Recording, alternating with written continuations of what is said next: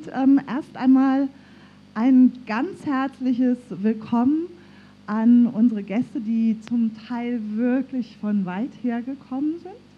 Und an euch und Sie, ähm, ich gehe jetzt einfach mal ins informelle Du direkt, ja, für, an alle, ähm, dass ihr heute Abend hier seid. Ich glaube, uns erwartet ein spannender Abend. Der Titel ist ja klar, der hausgemachte Terror von vernetzten Rassekriegerinnen und einsamen Wölfen. Analysen zum internationalen Rechtsterrorismus. Ein ziemlich langer Titel. Ich sage ganz kurz was zum Hintergrund dieser Veranstaltung. Es ist ja allen bekannt hier im Raum, dass äh, der sechste Jahrestag der Selbstenttarnung ähm, des nationalsozialistischen Untergrunds und vor allen Dingen des Öffentlichwerdens ähm, davon, dass der nationalsozialistische Untergrund das NSU-Netzwerk für mindestens zehn Morde, neun davon rassistisch motivierte Morde, drei rassistisch motivierte Sprengstoffanschläge und eine Serie von mindestens 15 Banküberfällen verantwortlich ist. Anlässlich dieses sechsten Jahrestags herbten NSU Watch, das Netzwerk antifaschistischer Gruppen, Initiativen und Archive, die seit sechs Jahren den NSU-Komplex begleiten mit Analysen und einer wirklich verdienstvollen Dokumentation des Prozessgeschehens in München und die Rosa-Luxemburg-Stiftung, insbesondere die Fachstelle Neonazismus und rassistische Gewalt, ähm, die Fritz Bursche leitet, die Wahl, entweder es gibt noch eine Veranstaltung zu all den offenen Fragen im NSU-Komplex oder es gibt eine Veranstaltung zu einem Aspekt, der oft vergessen wird, nämlich dass das Konzept des führerlosen Widerstands,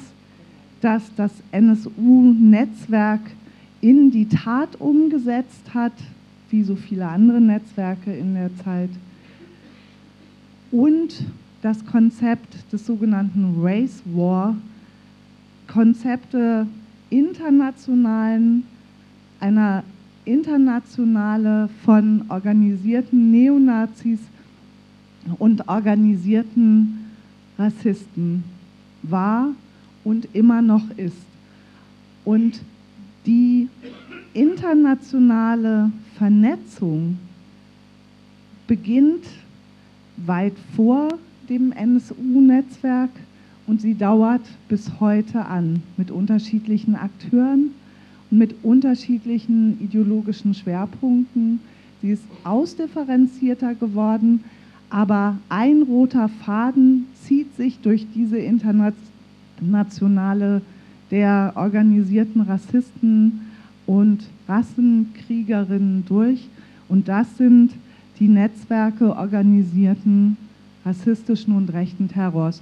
Und darüber wollen wir heute sprechen, weil wir den Eindruck haben, dass das eine große Leerstelle in der Analyse rechten Terrors ist, mit dem wir, aber eben auch die Gäste auf dem Podium konfrontiert sind. Ich werde die Gäste jetzt kurz vorstellen. Terry Johnson, von euch aus gesehen ganz rechts außen. Sie hat definitiv den weitesten Weg. Executive Director, Geschäftsführerin des Center for New Community in Chicago, neben dem Southern Law, äh, Southern, ähm, Law Poverty Center im Süden der USA, eine der führenden Recherche- und Analyse Nichtregierungsorganisationen, wenn es um rassistische Bewegungen in den USA geht, seitdem die Trump-Administration in der Regierung ist, völlig überarbeitet oder noch überarbeiteter als vorher. Und wir freuen uns sehr, Terry, dass du trotzdem heute Abend hier bist. Herzlich willkommen.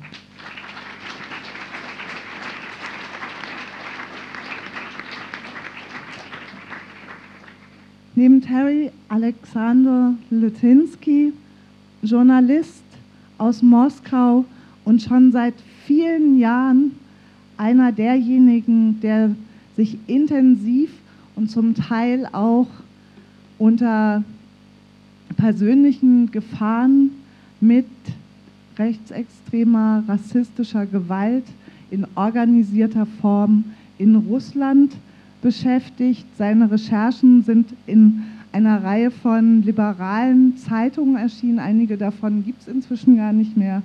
Ähm, und Alexander wird ein Schlaglicht auf ein Land werfen, wo rassistischer Terror in einem Ausmaß alltäglich ist, das wir uns noch nicht vorstellen können. Herzlich willkommen, Alexander.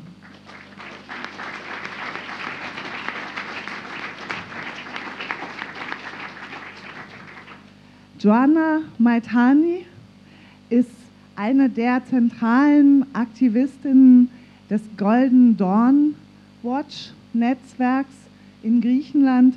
Sie arbeitet dort auch für die Rosa Luxemburg Stiftung und die Verbindung zwischen dem Golden Dawn Watch Netzwerk und dem NSU Watch Netzwerk sind nicht alleine durch den Namen gegeben, sondern erklären sich auch aus der Art und Weise von rassistischem Terror, mit dem ähm, Joanna Maitani und die Aktivistinnen seit vielen Jahren konfrontiert sind und mit dem Prozess gegen Golden Dawn, den das Golden Dawn Watch Netzwerk dankenswerterweise auch auf Englisch dokumentiert. Wie da der Stand ist, darüber wird Joanna uns gleich berichten. Herzlich willkommen.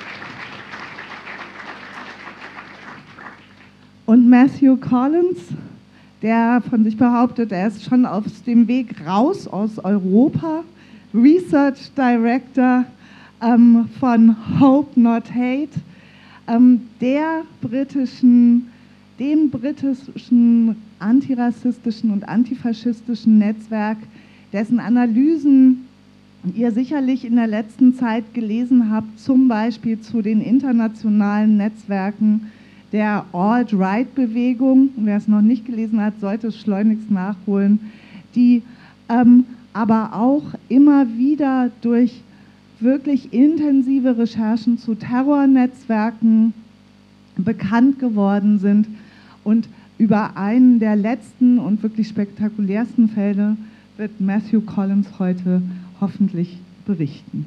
Herzlich willkommen.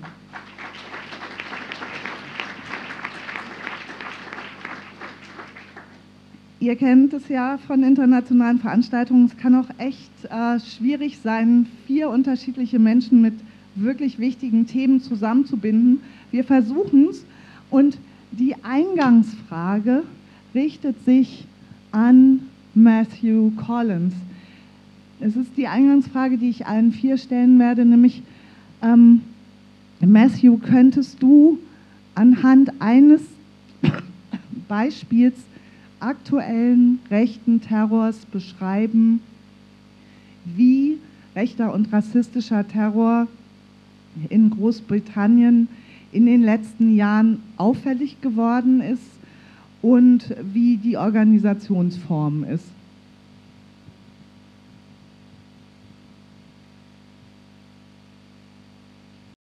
Bonjour. I arrived in Berlin yesterday. I had my scarf and my hat, and I went to a pub, and I sat there for four hours waiting for the football.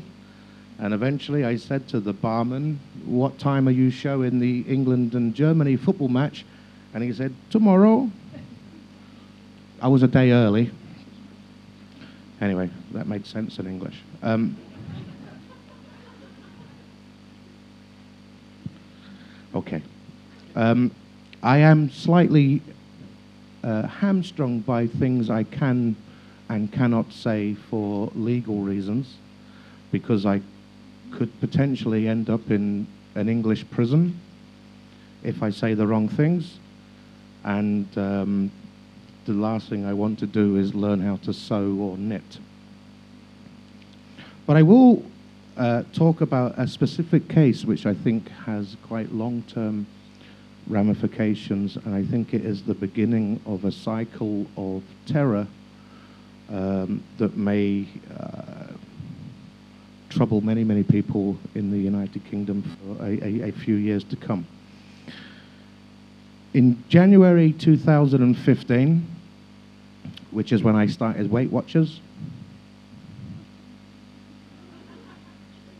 you get that? Obviously, I've not been to Weight Watchers, it's not a joke. Um, in January 2015, a young man in a very, very small town in the north of Wales uh, walked into a supermarket, Tesco's supermarket. It seems to have stuck in the English psyche that Wales had a Tesco supermarket. It seems to have elevated itself in our social conscience. He walked into a supermarket in Wales with a hammer and a, a machete with a 30 inch blade. And as he was walking into the supermarket, he saw an Indian man, a Sikh, with a turban. He was very, very obviously uh, Sikh. And he, as the story goes, he decided that he would try and kill this person. It was not a sporadic event, as, as was originally reported. I can qualify that very few of us in England or Wales walk around with 30 inch machetes and hammers in our pockets when we go to the supermarket. And he saw a man called Surinder Bambra. I do apologize if I haven't pronounced his name correctly. He was a doctor. He was, um, he, he was a junior dentist. And he set about this person with the hammer and then the knife, uh, initially attempting to behead him. Um, believe it or not, that's very difficult to do, even with a 30 inch machete. But he tried to cave the man's head in. And the dentist, as rightly so, defended himself by putting his arm up, and he hacked and he hacked and he hacked into this 25 uh, year old doctor's hand. And all the time he was, as he was doing it, Zach Davis shouted all kinds of nonsense. White power, white power. Uh, this one is for Lee Rigby. Do we all know who Lee Rigby was? Lee Rigby was a soldier who was coming back from the, the shops and he was attacked by two uh, jihadis. He was run over and, and, and then beheaded on the street. This one's for Zach Davis, uh, White Power, end of, end of, and, and an off duty, sorry, a retired soldier. Most soldiers in Britain retire at about 32 years old. Um, was shopping in Tesco's and got in the way and said to Zach Davis, whatever you're doing, you need to stop it now. Stop what you're doing. I'm, a, I'm, a, I'm an ex-soldier. I'm still linked to the military. I have all my badges. You must stop trying to, whatever it is you're doing to this man. And Zach Davis said, oh, an ex-soldier? Brilliant. I'll lay down my weapons for you. I bow to, you know, I bow to you and your bravery and, and all these things.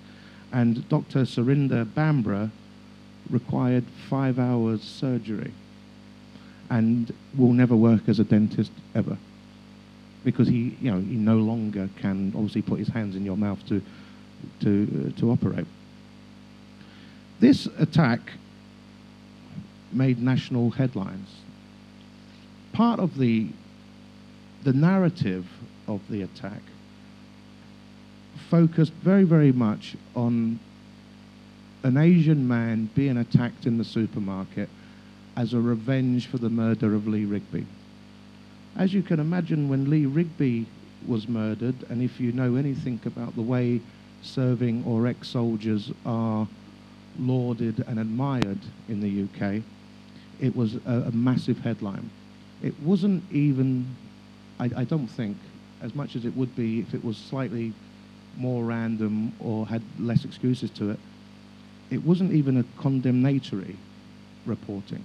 It said quite clearly an Asian man has been attacked in a supermarket by someone screaming, This is revenge for Lee Rigby.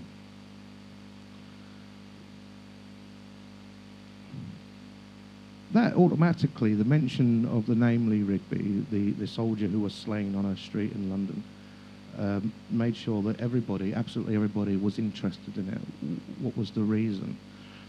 quite clearly, those of us who, who live in the United Kingdom were aware within hours of the murder of Lee Rigby being broadcast almost live, but with a slight delay, that across the UK, people went out immediately to avenge the death of, or you know, the murder of Lee Rigby. It took many, many forms.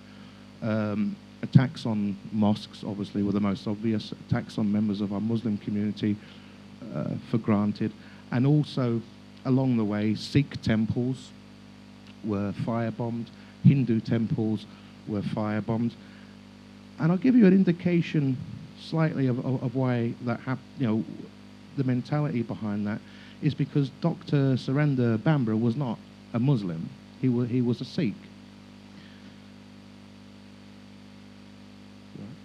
He, he, was, he was a Sikh. When Zach Davis was put in prison and charged, and eventually the news begins to come out, and everyone is very, very interested. Who was this person with the machete and the hammer? A number of stories came out about Zach Davis. He was just a kid who lived on his own with no friends. Second of all, he was 26 years old. Um, nothing was known about Zach Davis. This will get me in trouble a week before Zach Davis carried out this attack, the police went to his house because they were aware that he was a slightly troubled individual who had bought a machete and had a hammer and had swastikas, flags in his bedroom. And the police raided his house and they said to him, Are you a danger? And he said, No, of course I'm not a danger. It's quite normal and it's freedom of speech to have a swastika flag on my wall, and the police studied it and said, Yes, freedom of speech in Britain, you can fly any flag you want. And they looked at his machete, a 30 inch machete, purpose of which holding it, I, I don't understand, and they left him with it because the last thing you want to do is obviously take someone's swastika flag and 30 inch machete away from them and deny them their human or civil rights to go about their everyday business. It then transcended as we knew and as we were aware, not only had the police been to visit him, Zach Davis was, although reported in the paper previously unknown, Zach Davis was actually very, very known. Zach Davis was very, very active on the internet, talking about white jihad, because his heroes were Adolf Hitler, and his other hero was Jihadi John. As you know, we're very, very proud of our sporting heroes in England. Jihadi John was a guy in ISIS who was beheading people live on television. And Zach Davis had stayed at home every night waiting for the latest update from Jihadi John. Davis had tried to grow a beard, as had many members of the organization National Action, because he believed in jihad, and they called it white jihad, and they mimicked beards. They even read the Quran. They took out the very, very bits that other people bastardize You got that? the other bits that people corrupt, jihadists uh, corrupt, and copied that as a, as a justification. The reality of it is, the uh, attack on this doctor was not really in revenge for Lee Rigby. He was chosen because of his colour. He was also chosen because he had something on his head that looked quite alien. And I'm afraid to say, um, most of the times uh, well, no, in every instance where we have racist attacks against Asian members of the public, it is people who think they're all Muslims. And it came out later in court that not only was Jihadi John an inspiration, his exact comments were he looked Asian, his religion is totally irrelevant to me.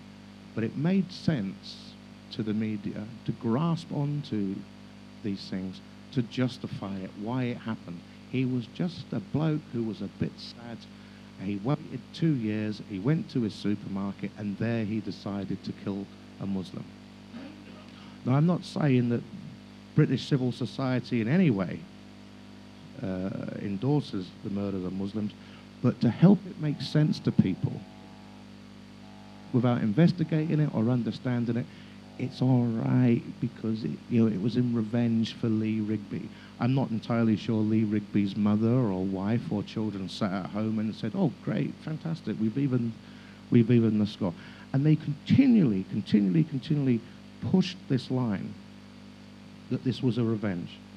And it was only, which I will have to come on to in the second part, it was only really almost as an aside that as well as carrying out this racist attack, as well as misjudging and misunderstanding a religion, that it turned out that also he had a swastika flag on his wall, also he had a machete, also he had weird and strange ideas ab- about society, and also he may be, coincidentally, a race hater.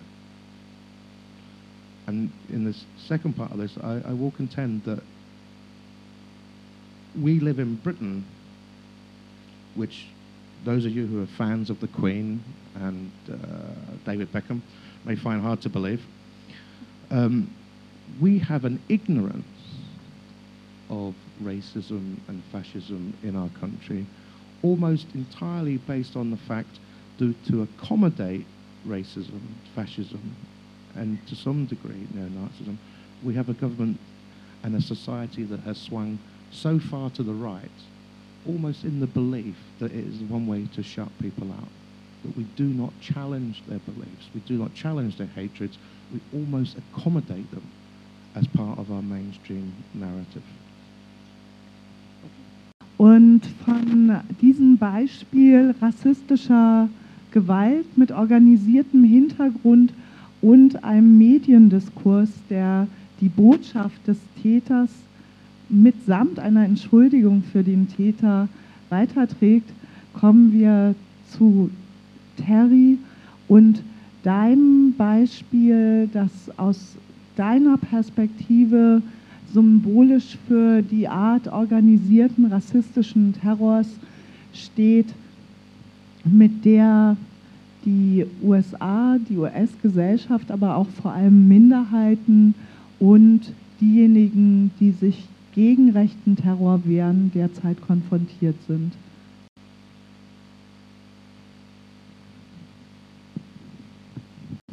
So, thank you for giving me the hard questions to answer. um, first, let me say how amazed I am that this many people came to have this conversation and how exciting it is to be a part of this conversation and how it's been both humbling and energizing to be a part of a conversation that's gone on for the last couple days about what I think is a pretty important and maybe even the most important conversation we should be having. Uh, you know I come from Chicago, which is uh, not only the furthest away from here, but also one of the most segregated cities in the country.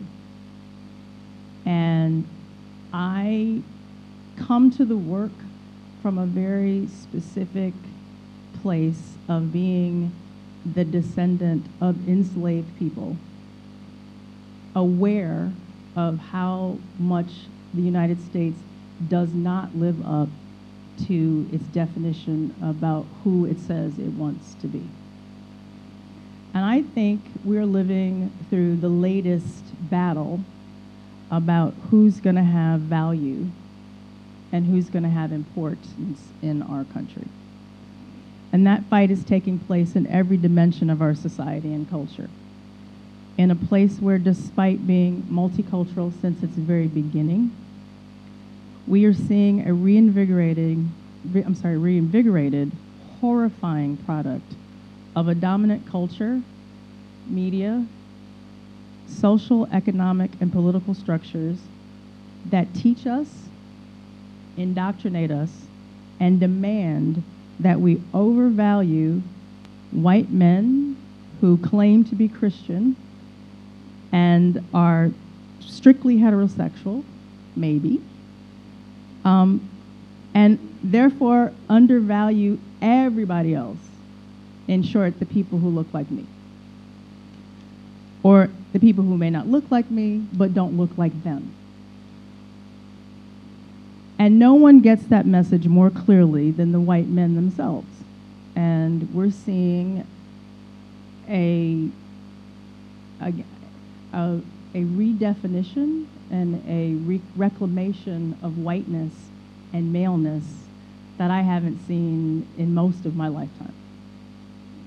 And as a result of that, many of these white men are actively involved in a far right brand of politics that's based on a cocktail of white nationalism, xenophobia, anti LGBTQ, anti Muslim, basic misogyny, anti Semitism, and good old fashioned racism. One extreme of that is the advocates who are blatant about how the policies they want are ugly and racist. Another dimension of that is a group of people who don't necessarily claim that racism, but are okay with the policies and the outcomes. And then the third dimension of that is the ones who use that as an excuse for violence or may even come to the movement for the violence. And then there's another group of people who may not like the violence, but they're willing to live with it. And so since 1990, the US far right has killed nearly 450 people. 65 people since 9 11. And if we don't even get to the killing space, we're seeing a resurgence of all kinds of bias incidents. And we can even point to the fact that in the 10 days after our election last year, there were nearly 900 different bias incidents. Some of that was literal violence, some of that was online violence, some of that was in churches, some of that was at schools. In fact, the vast majority of those were targeted in schools. And so we've got a real issue that unfortunately I'm not sure we're dealing with in the best or most um, dynamic way. Um, for the most part, we, like the UK, are in great denial. Um, I also have to say that after eight years of proudly saying President Obama, I really have a hard time saying President Trump. So if you see the sickened look on my face, that's what that is. He is partially responsible for the resurgence and the energy. Not completely responsible, but he ran a campaign that was vicious, nasty, explicitly racist, and in fact, one of the ugliest, again, I've ever seen, and continues to do so while serving in the Oval Office. In addition to that, he is surrounded by people who believe exactly the same things, and I would even argue probably believe them more, because I don't know what he believes.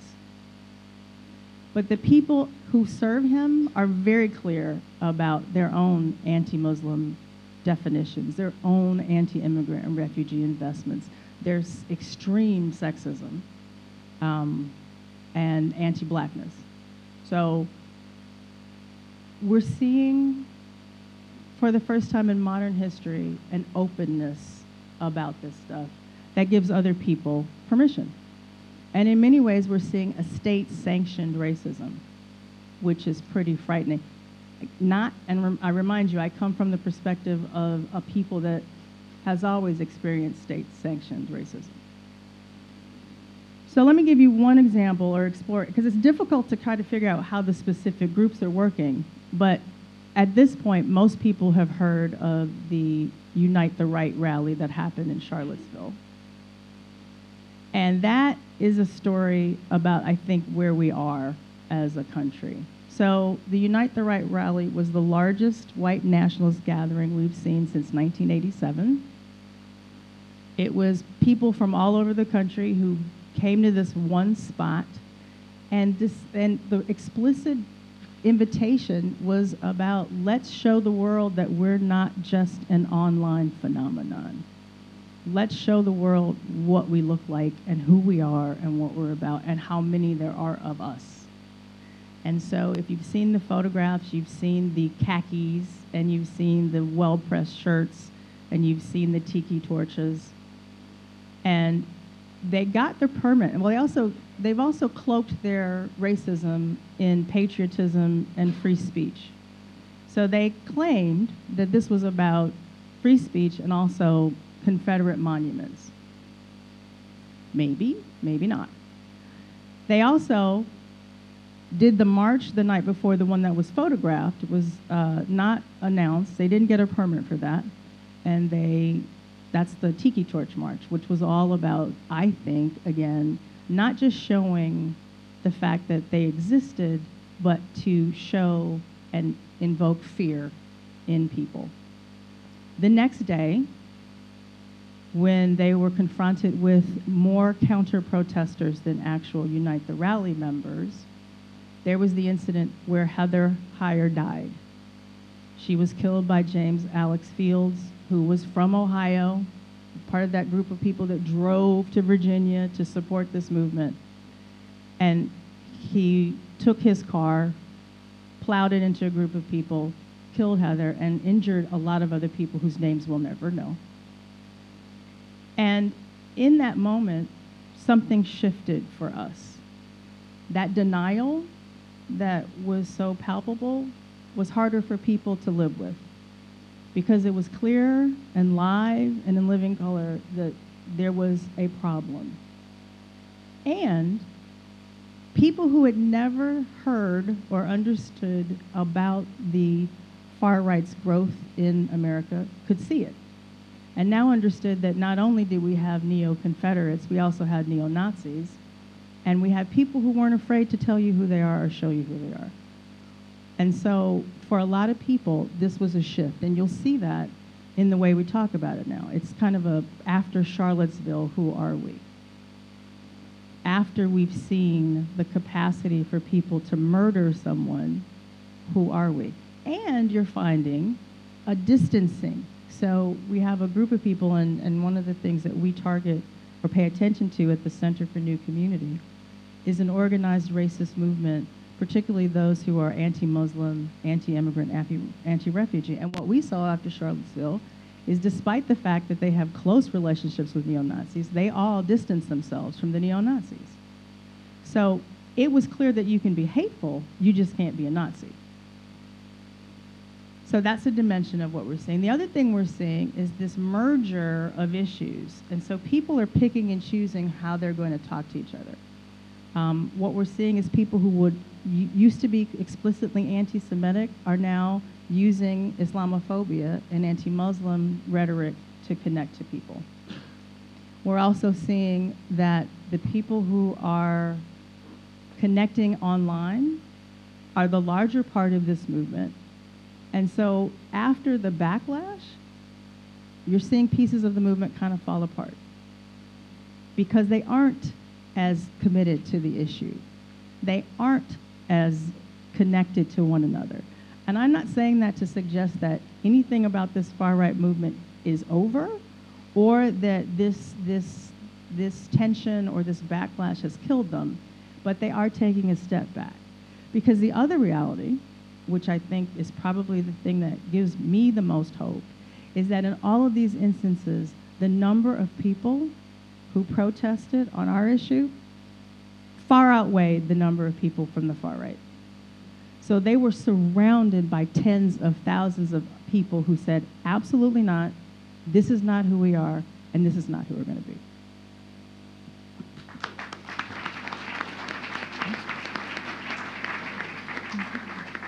Herzlichen Dank, Terry. Die Frage der Feindbilder und ähm, der Opfer rassistischer, organisierter Rassisten und Neonazis ist ja tatsächlich auch ein Aspekt äh, der internationalen Perspektive. Und Alexander, ähm, wenn du ein Beispiel für organisierte neonazistische Gewalt in Russland beschreiben könntest, dann kannst du sicherlich auch beschreiben, wer die Hauptopfergruppen sind, die davon betroffen sind. Und schon jetzt herzlichen Dank an Ivo ähm, Georgiev, der ähm, für Alexander aus äh, dem Russischen ins Deutsche übersetzen wird. Und ähm, sowieso ein Dank an die Übersetzerin.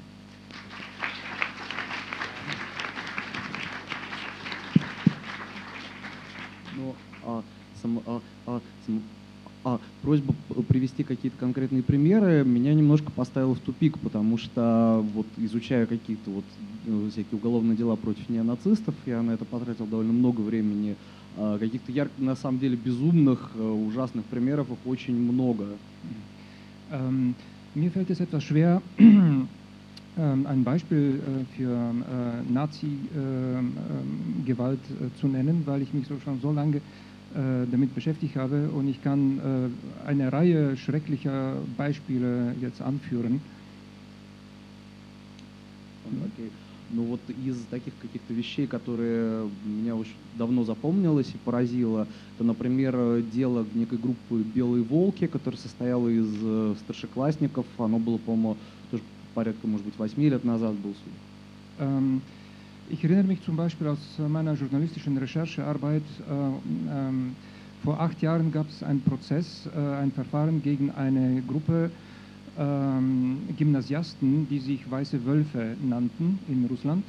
Но вот оди- один из эпизодов деятельности, они э, подкараулили у стройки, э, по-моему, только рабочих с Кавказа или Средней Азии, вот как раз типичные, типичная жертва таких людей. Mhm. Ähm, diese Gang, äh, diese, diese Gruppe von Gymnasiasten ähm, haben sich zum Ziel, äh, äh, äh, als Ziel genommen, ähm, Arbeiter aus zentralasiatischen Republiken, ehemalige äh, Sowjetrepubliken. Ähm, es gibt in Russland sehr viele ähm, Gastarbeiter aus äh, diesen vorwiegend muslimischen Republiken. Вот, они, с- ну, то есть они- он, э, этот человек, он пошел купить, по-моему, кефир в магазин, В- вышел со стола, он работал целый день, пошел купить кефир в магазин. Mm, Sie haben einen Menschen verfolgt aus, äh, von diesen Gastarbeitern. Sie wussten, wo sie, äh, wo sie leben in, äh, in, äh, Moskau. Ну, Да, в Москве, это в Äh, Москве. in, in Moskau. Äh, und dieser Mann hat auch einfach von einem, äh, von einem Geschäft äh, eine Flasche Milch, Kefir, gekauft. Ну и порядка 10 подростков сначала долго били его, Und ähm, er wurde dann angegriffen von äh, circa zehn äh, Mitgliedern dieser, dieser Gruppe. Sie, sie haben ihn grausam ähm, äh, zusammengeschlagen. потом они, э, ну это происходило на каком-то пустыре, и они увидели, что там лежало бревно. Ну, б- бревно это слово, слово long, long wooden stick, so, some heavy, heavy Na, wooden nachdem, stick. nachdem sie ihn zusammengeschlagen haben, haben sie gemerkt, dass äh, in bequemer Nähe zum, zum Tatort ein, ein, ein Schlagstock liegt, ein äh, Knüppel.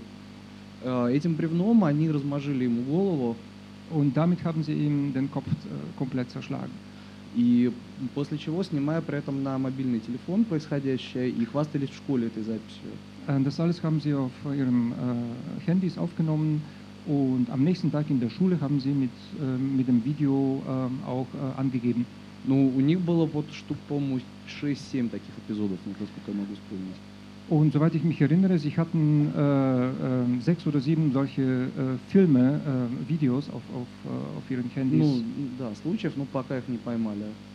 Ähm, also das sind äh, äh, Taten, die sie auch begangen haben, aber ähm, konnten nicht, äh, nicht zur Verantwortung gezogen werden für, für, für diese Fälle. Но тоже, безусловно, ситуация, которая может быть поставлена в пример, это э, так называемый вот, э, процесс над национал-социалистическим обществом. Ein anderes Beispiel ähm, aus dieser Reihe ist äh, der, ähm, das Gerichtsverfahren gegen die sogenannte äh, nationalsozialistische Gesellschaft. Ну, э, это, наверное, было как бы самое, самое, самое массовое из вообще процессов России по российским убийствам, потому что там до суда дошло 28 убийств, хотя их явно было больше. Es handelt sich um ein, äh, ähm, ein, ein ganzes Netzwerk ähm, äh, von einer, einer, einer großen Gruppe von äh, Menschen, äh, denen hat man nach, na, na, äh, 28 äh, äh, Morde nachgewiesen. Ähm, vermutet wird, dass sie auch äh, noch mehr begangen haben als diese 28. Ну, и там, там такая очень детективная история, и там, на самом деле, э, вообще суд проходил в закрытом режиме. Äh, когда это было? Это, с- это было... Так, сейчас подумаю. Суд, по-моему, закончился аж лет пять назад. Ну, не, не- шесть лет, да, да, пять. Das, das, Шесть лет назад. шесть. das Verfahren ähm, war vor ungefähr fünf Jahren. Ну, ага,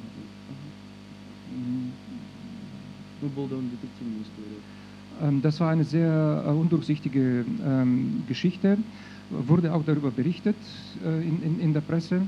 Ну да, то есть суд был явно закрыт, видимо, потому что у них, э, ну то есть в этой истории были определенные связи явно со спецслужбами и с а, неким с мафиозами, там довольно комплексная сложная история.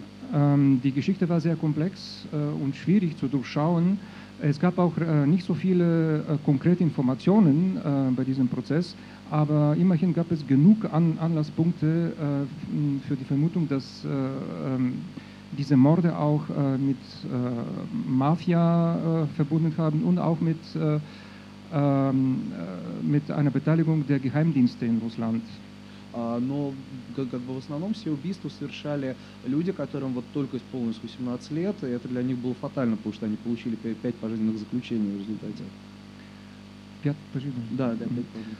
Ähm, äh, das, die Morde wurden äh, begangen von äh, volljähr, ähm, also volljährigen äh, Menschen und äh, die haben fünfmal äh, lebenslänglich äh, bekommen, die, äh, die Täter. Да, потому что в, в России можно вот и до 18 лет, максимальное наказание 10 лет тюрьмы, с 18 пожизненное заключение можно получить макс- как максимальное наказание.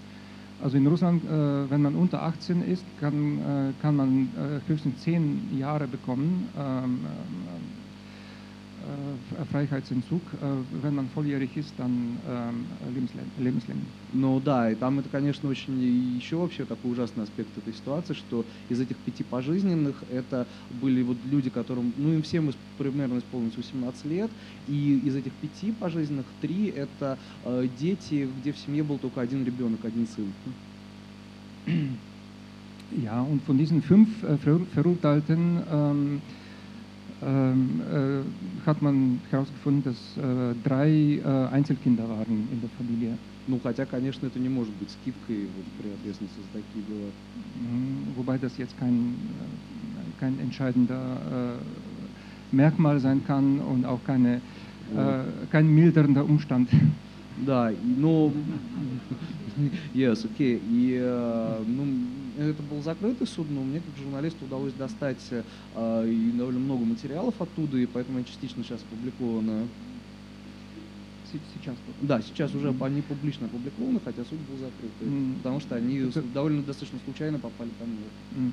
Also das Gerichtsverfahren war, war, war geschlossen, aber mir ist es gelungen, äh, mehr Material zu, äh, zu bekommen zu diesem Verfahren. Und jetzt erst, also fünf Jahre nach diesem, diesem Prozess, äh, äh, fange ich an, äh, darüber zu publizieren, zu schreiben.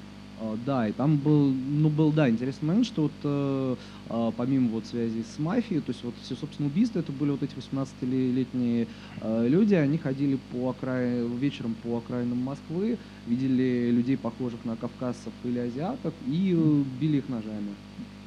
Also das, das äh, Muster dieser Morde war äh, folgendes. Sie sind äh, an den äh, ähm, in Randvierteln von Moskau ähm, gezogen, die Gruppe, und haben sich dann Menschen ausgesucht, die wie äh, Kaukasier, also Menschen aus dem Kaukasus oder aus Zentralasien aussahen, und haben diese, äh, diese Menschen dann äh, verfolgt und mit Messern angegriffen und zusammengeschlagen, getötet. Да, и, и, э, и, собственно, э, по-моему, у них было штуки три случая, которые выбивались из этой линии тем, что они в темноте, наоборот, русских по национальности людей принимали за кавказцев. Und in mindestens drei dieser äh, zahlreichen Fälle äh, ähm, äh, hat man herausge äh, herausgefunden, dass die Opfer eigentlich Russen sind, also keine Ausländer kaukasischer Herkunft oder zentralasiatischer Herkunft, sondern Russen.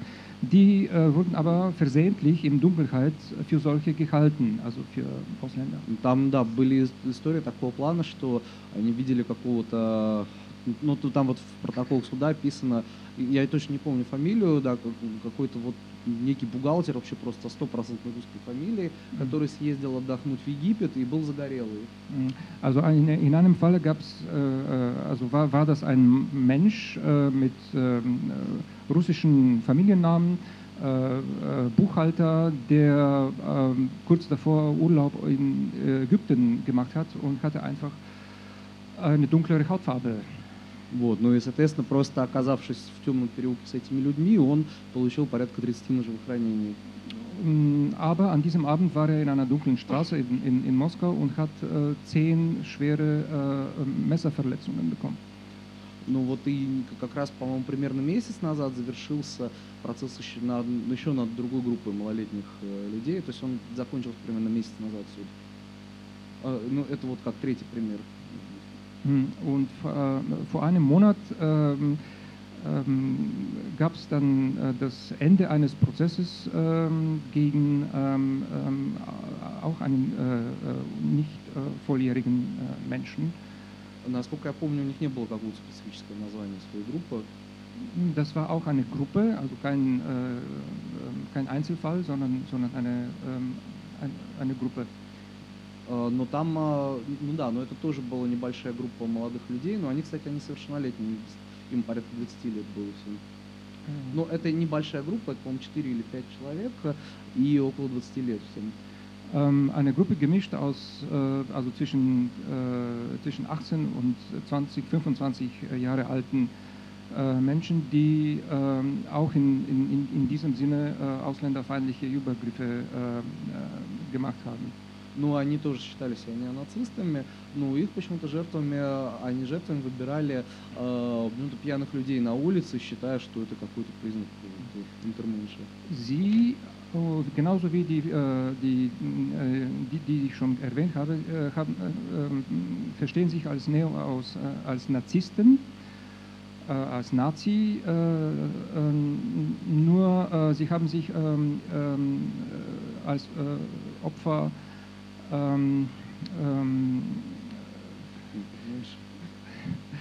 Arme äh, und ar arme Menschen auf der Straße, äh, homeless people ähm, ausgesucht. но, но не, не, не бездомные, а именно просто пьяных людей. Äh, und Betrunkene. Вот. И там у них есть одно из убийств, это, по-моему, 180, 180 ножевых ранений. Еще раз, пожалуйста. А в, в, ну, а у них поря- ну, в, в одном из эпизодов их убийств человек получил 180 ножевых ранений. In einem dieser Fälle äh, äh, der äh, betrunkenen Opfer hat, äh, hat ein Opfer ähm, 180 ähm, äh, Verletzungen bekommen. 180 Mal wurde er äh, durch Messerstiche äh, verletzt. Ну, то есть, и это вот, ну, и таких примеров, на самом деле, еще я могу полвечера рассказывать такие истории. Darüber konnte ich wirklich einen äh, ganzen Abend füllen mit, mit, äh, mit Geschichten ähm, dieser Art. Ну, и, то есть, в основном, как бы, ро- российский террор России, это, мали, это маленькие группы очень молодых людей, которые вот как зараженные из вот такой некой заразы из э, ультраправых сайтов. Äh, in den allermeisten Fällen handelt es um kleine Gruppen, die auch nicht unbedingt miteinander vernetzt sind oder organisiert sind, aber sie ähm, äh, stecken sich an ähm, im Internet äh, und äh, ziehen los durch die Straßen.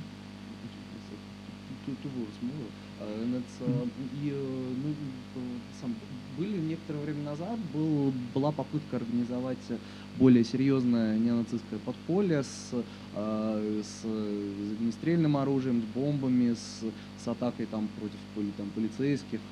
Это было, ну вот, это было порядка там 7 лет назад.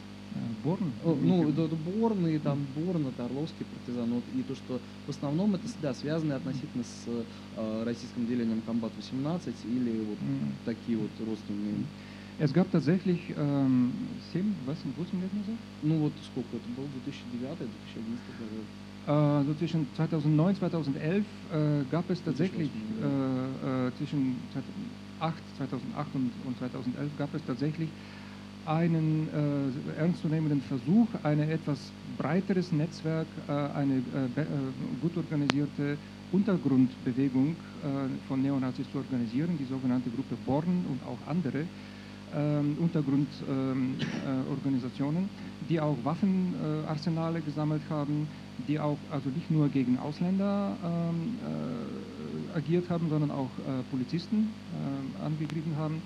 Und die, haben, äh, auch, die waren auch ideologisch besser, äh, also hatten eine ausgereiftere ähm, ähm, Ideologie.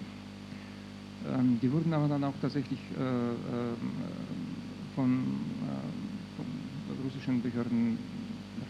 Yes. А, ну, но в основном это такие. То есть сейчас, на самом деле, суммарно, вот такой, как бы, э, именно вот э, давление нацистский террор, он находится в упадке. Ну, может быть, мы потом подробнее, по- подробнее это смогу описать, что Мгм. э, не факт, что это закон- за- закончится. То есть сейчас просто некие таких историй меньше, вот, но они все равно сохраняются. Хотя Мгм. пик был скорее, может быть, лет там 6-7 назад. zusammenfassend, äh, äh, der Höhepunkt war vielleicht äh, sechs, sieben Jahre, liegt sechs, sieben Jahre zurück. Im Moment kann ich, also ist mein Eindruck, dass die Intensität der Gewaltverbrechen von Neonazis in Russland ist gesunken. über die Gründe darüber können wir gerne in der Diskussion eingehen. Ja.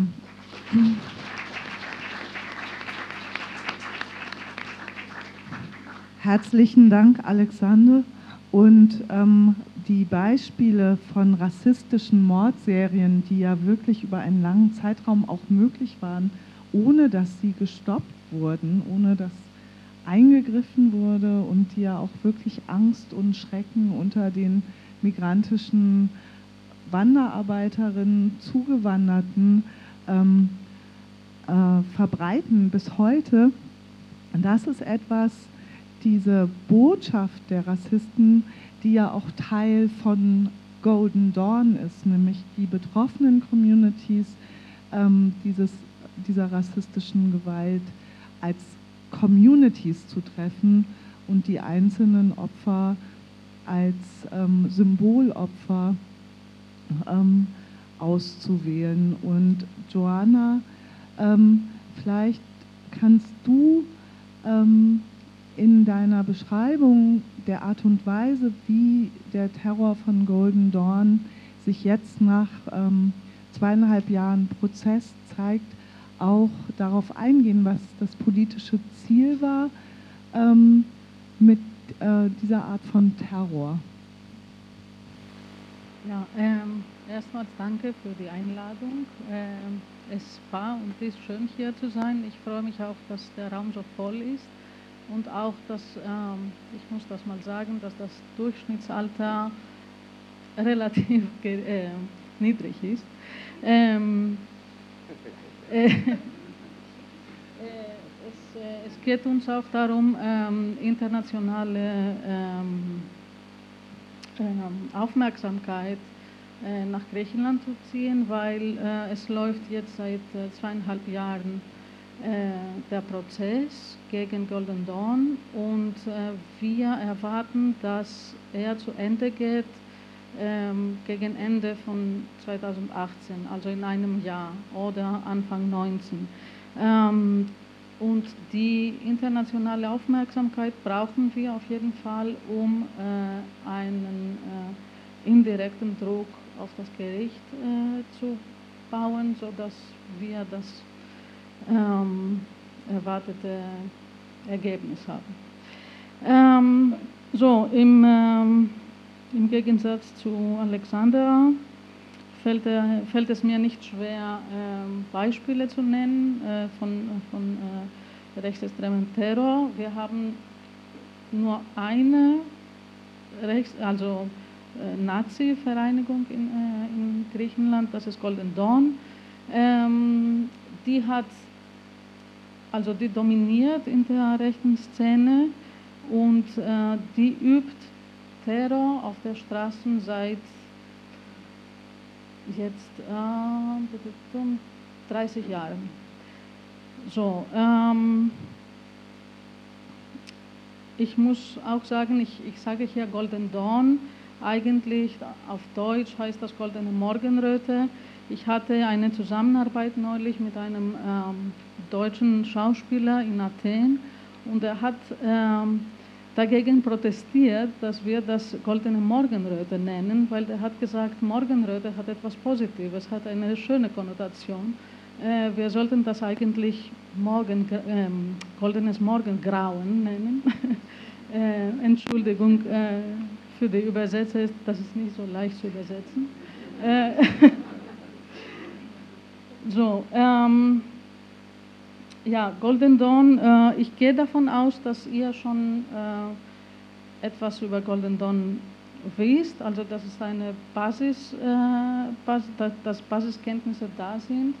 Ähm, ich, ähm, ich will äh, betonen, dass Golden Dawn drei Besonder Besonderheiten hat im Vergleich zu anderen ähm, Terrororganisationen in anderen Ländern.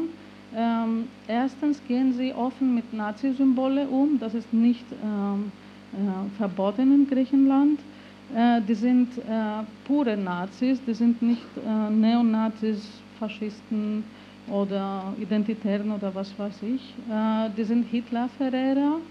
Ähm, die haben eine sehr strikte und militärische Struktur in, in, in, der, in der Vereinigung. Der Anführer oder einfach Führer, äh, Michaloliakos, äh, hat die totale Macht, der ist unumstritten, der ist äh, ähm, dafür immer, der, ist, äh, der hat die volle Kontrolle und nichts geschieht ohne seine Genehmigung. Ähm, so, für eine solche Organisation ist eigentlich politisches Ziel, politisches Mittel und äh, politische Aktion die Gewalt.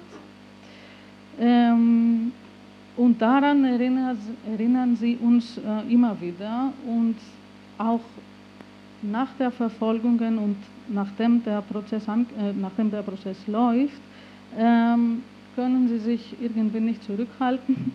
Ähm, die greifen immer wieder ähm, Leute, also Migranten äh, ganz gerne an, ähm, obwohl die Angriffe auf der Straße zurückgegangen sind äh, nach dem Prozess. Ähm, die zweite Besonderheit dieser Vereinigung ist, dass sie ähm, gleichzeitig eine, also sich als eine politische Partei getarnt hat äh, und unter diesem Mantel der politischen Partei ähm, sind sie im Parlament vertreten. Also seit 2012 ähm, sind sitzen sie im Parlament mit äh, 6,9 Prozent. Ähm, dieses äh, Prozent hat sich konsolidiert äh, nach vier, äh, viermal Nationalwahlen. Also das erste Mal war 2012, die nächste Wahl kurz danach und dann in 2015 noch zweimal Nationalwahl. Und sie haben immer dasselbe Prozent, 6,9. Ähm, über die Gründe äh, können wir vielleicht äh, später sprechen. Ähm, die dritte Besonderheit ist ähm, glücklicherweise, dass diese Vereinigung vor Gericht steht. Ähm, das ähm, hätte eigentlich viel früher passieren müssen, ist aber erst, erst also die, die ersten Festnahmen und die, die Strafverfolgung ähm, ist erst in äh, 2013 geschehen, äh, nach dem Mord an Pavlos Fissas. Äh, der war ein griechischer Musiker, Hip-Hop-Musiker. Ähm, und ein äh, Symbolopfer, wie, wie Heike gesagt hat. Ähm, über den äh, Prozess, obwohl wir als Organisation äh, Golden Watch den Prozess äh, ähm, folgen ähm, und darüber berichten, werde ich hier nicht viel sagen. Wir können danach in der Diskussion vielleicht vertiefen. Es gibt äh, da draußen auf einem Tisch gibt es äh, zwei Materia Materialien über den Prozess ähm, ein, eine Broschüre oder ein, ein kleines Buch äh, ist auf äh, Englisch, das heißt äh, Golden Dawn äh, on Trial. Ich denke, das ist der englische Titel. Äh, und auch ein Flyer mit einer äh, Übersicht ähm, über den Prozess. Also nur eine Sache zu klären, es geht nicht um ein Verbotsverfahren gegen Golden Dawn, es ist ein Prozess, äh, wo sie als kriminelle äh, Vereinigung angeklagt werden. Und ähm, es werden vier Fälle zusammen, äh, es sind vier Fälle zusammengebracht vor Gericht. Äh, drei äh, terroristische Angriffe.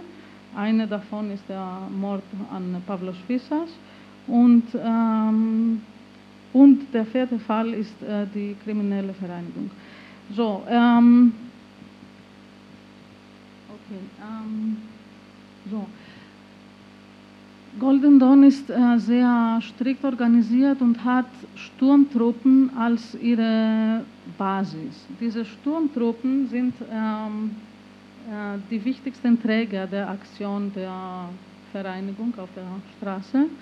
Ähm, Zielgruppen sind äh, Migranten, Flüchtlinge, ähm, äh, Mitglieder der LGBTQ-Community, Linke, äh, Anarchisten, ähm, Gewerkschaftler. Ähm, sie operieren ganz offen, also sie, sie, sie tauchen auf in organisierten Gruppen. Meistens tragen sie dabei T-Shirts, äh, wo drauf Golden Dawn äh, steht. Ähm, sie vermummen sich nicht. Sie, und ihre Strategie ist nicht Hit and Go, also die, die, die machen lange Angriffe und ähm, rufen auch äh, oft dabei äh, Nazi-Parolen. Ähm, die Angriffe sind gut vorbereitet, die sind gezielt und äh, die werden sehr diszipliniert ausgeführt. Charakteristisch dafür ist, dass äh, einer immer die, der, das Ende der Aktion immer äh, bestimmt mit dem Satz, ähm, jetzt ist Schluss, time is up. Ähm, so, ähm, ja, soll ich vielleicht ähm, die, die, die zwei Fälle nur kurz nennen, äh, wofür, sie an, angeklagt, wofür sie vor Gericht stehen? Genau, und dann, okay, genau. So, ähm, der eine Fall ist der Mord an Pavlos Fissas, äh, der zweite ist ähm, die, die, der brutale Angriff an einem ausländischen ähm, Fischer ähm, sie haben ihn ähm, verprügelt und der lag, ich weiß nicht wie viele Monate im Krankenhaus. Ähm, und der dritte Fall ist ein Angriff auf eine Gruppe von Gewerkschaftlern der ähm, äh, Kommunistischen Partei, die äh, gerade ähm, ähm, Posters aufgeklebt haben. So, ich mache hier einen Schluss erstmal und dann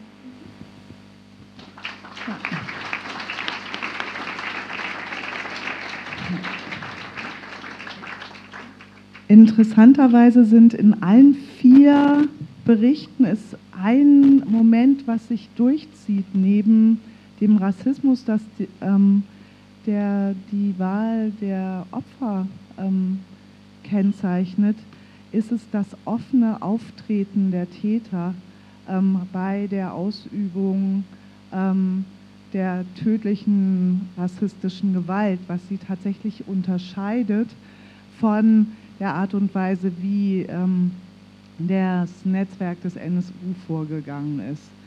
Ähm, Matthew, äh, du bist der Erste, den ich in dieser zweiten Runde nach der staatlichen Reaktion, nach Repression, aber auch nach der gesellschaftlichen Reaktion auf ähm, dein Beispiel rassistischen Terrors fragen will.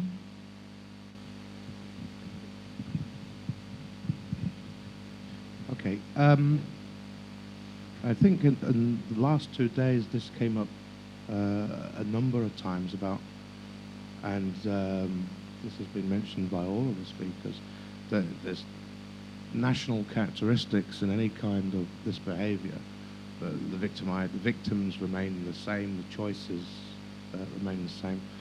We, those of you who know and have met English people, you'll know that we have a tradition of what you might describe as recreational violence and racism. And um, this tends to be on occasions endorsed by our national press, particularly if it's in somebody else's country those of you that have seen English football fans, for instance, uh, traveling around Europe. I think I touched on before about how somehow it was so very, very important to justify the actions of, of Zach Davis. And it was almost more important that people were aware that Zach Davis said, he didn't choose because he didn't care as it came out, but that Zach Davis had described his victim as a Muslim and therefore it was uh, a payback for the murder of the soldier Lee Rigby. And when it came out in court and thereafter that actually Davis, as most racists don't, didn't really care if he was uh, Muslim, Sikh, or Hindu, or Christian, or Jewish. He saw a brown skin. And in fact, most Asians in Britain, you may be aware, we have a colonial past in Britain. Um, and so we have a lot of people who have the, the right to domicile there or the right, the right to live there, and a lot of them have brown faces. And the vernacular or, or the language that was used to describe people from India has always been Paki, which is bizarre because they weren't from Pakistan, they were from India. And then they divided the country up and had Pakistan and Bangladesh. And I remember uh, an interview with a, a, a, racist attacker, and I said, "Why do you keep referring to this this particular person from India as a Paki?" And he said, "Well, you can't shout out "Oi Indian" when you're drinking." We have a very, very in in British society recreational view to violence, and I think traditionally um, we've had a quite a recreational attitude to um, he was only racist when he was drunk. He was only he was only racist for a couple of hours. Uh, he went back in the morning, and he was a tremendous human being. And having watched in the last, I think the last two years, 230 far right activists go to prison. Every single one of them as a mitigating excuse uh, or in mitigation, said, I was drunk at the time, Your Honour. And the, the response from our judicial system was, that is a mitigating factor. Generally, when sober, racists aren't violent. Um, so our society struggled very much, uh, I don't think as much with the crime, because it, it, unfortunately it tends to be quite common that English people attack each other with hammers and knives, particularly when the football is on. Um, it tended to be with the racial element, and there were a number of cases we saw in the mainstream media where they said, do they have to keep banging on that he had a swastika on his flag? Sorry, he had a swastika flag on his wall. And so some people just tut. And it's one of the things that we, we have spoken about in the last two days the, the way that we in Britain dealt with the electoral rise of the extreme far right, which was between 2006 to 2010, was to sort of ignore it. Obviously, I didn't, but general society ignore it, then celebrate it, and then destroy it with very great platitudes and and uh, conflating language and almost, you know, the press responded to a rise in the far right with its own version of extremism, which wasn't particularly helpful. didn't lay any foundations down that we could uh, ever conquer the rise of racism or the extreme right. But the long-term reaction to the rise of the far right was that society chose a slightly more palatable form of racism that to keep the British National Party, which most of you will probably not have heard of, but was linked to your NPD and still is linked to your NPD, was to promote an alternative political party whose sole politics was that Britain must withdraw from the EU. And so instead of the British national parties, all blacks must go home, all Jews are to blame. They promoted a political party that said Britain must leave the EU before all blacks go home. And it was quite successful. In a, in a, a country like ours where very, very few people engage with the political process at the uh, general election before last, they got 4 million votes.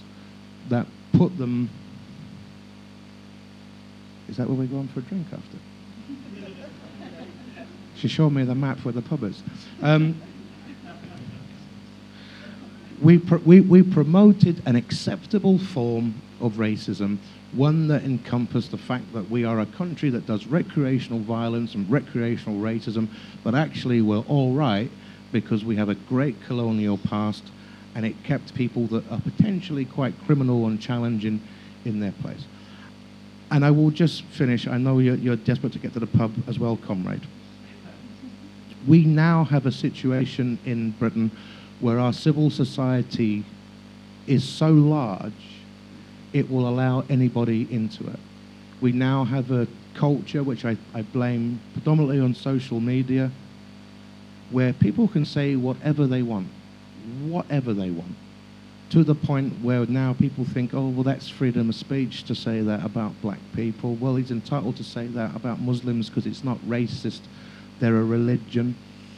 And I think it has boiled down so much that some of our political commentators in Britain are people who are quite openly saying Muslims need to go home. And your response is, but they can't go back to Birmingham. They're already living Birmingham.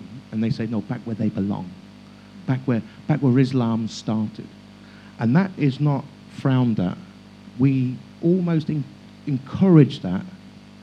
And the result has been that our extreme far right says it can no longer have political currency. It can no longer engage politically because the result is mainstream and civil society has endorsed and swallowed some of the more palatable aspects of their racism and their uh, extreme nationalism. But that seems to be the currency by which people in Britain talk to each other, and it is horrifying.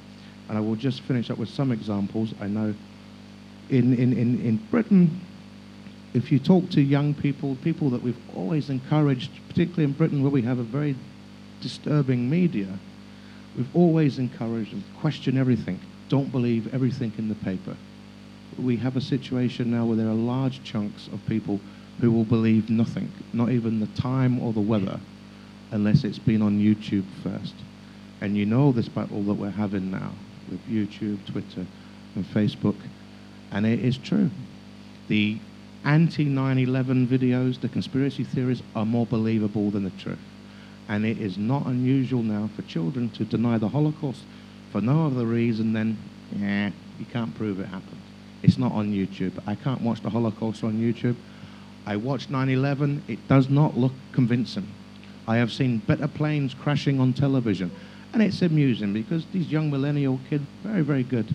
And they questioned everything to the point where we are going to have a huge issue about just explaining actually where we can deliver the truth and truth that matters and where it will be where we come in about what we believe about what is right and wrong before suddenly our history of fighting racism, fighting fascism, becomes, as it was discussed last week in the European Parliament, that anti-fascism is almost a myth, that it never happened. And that's true. Thank you.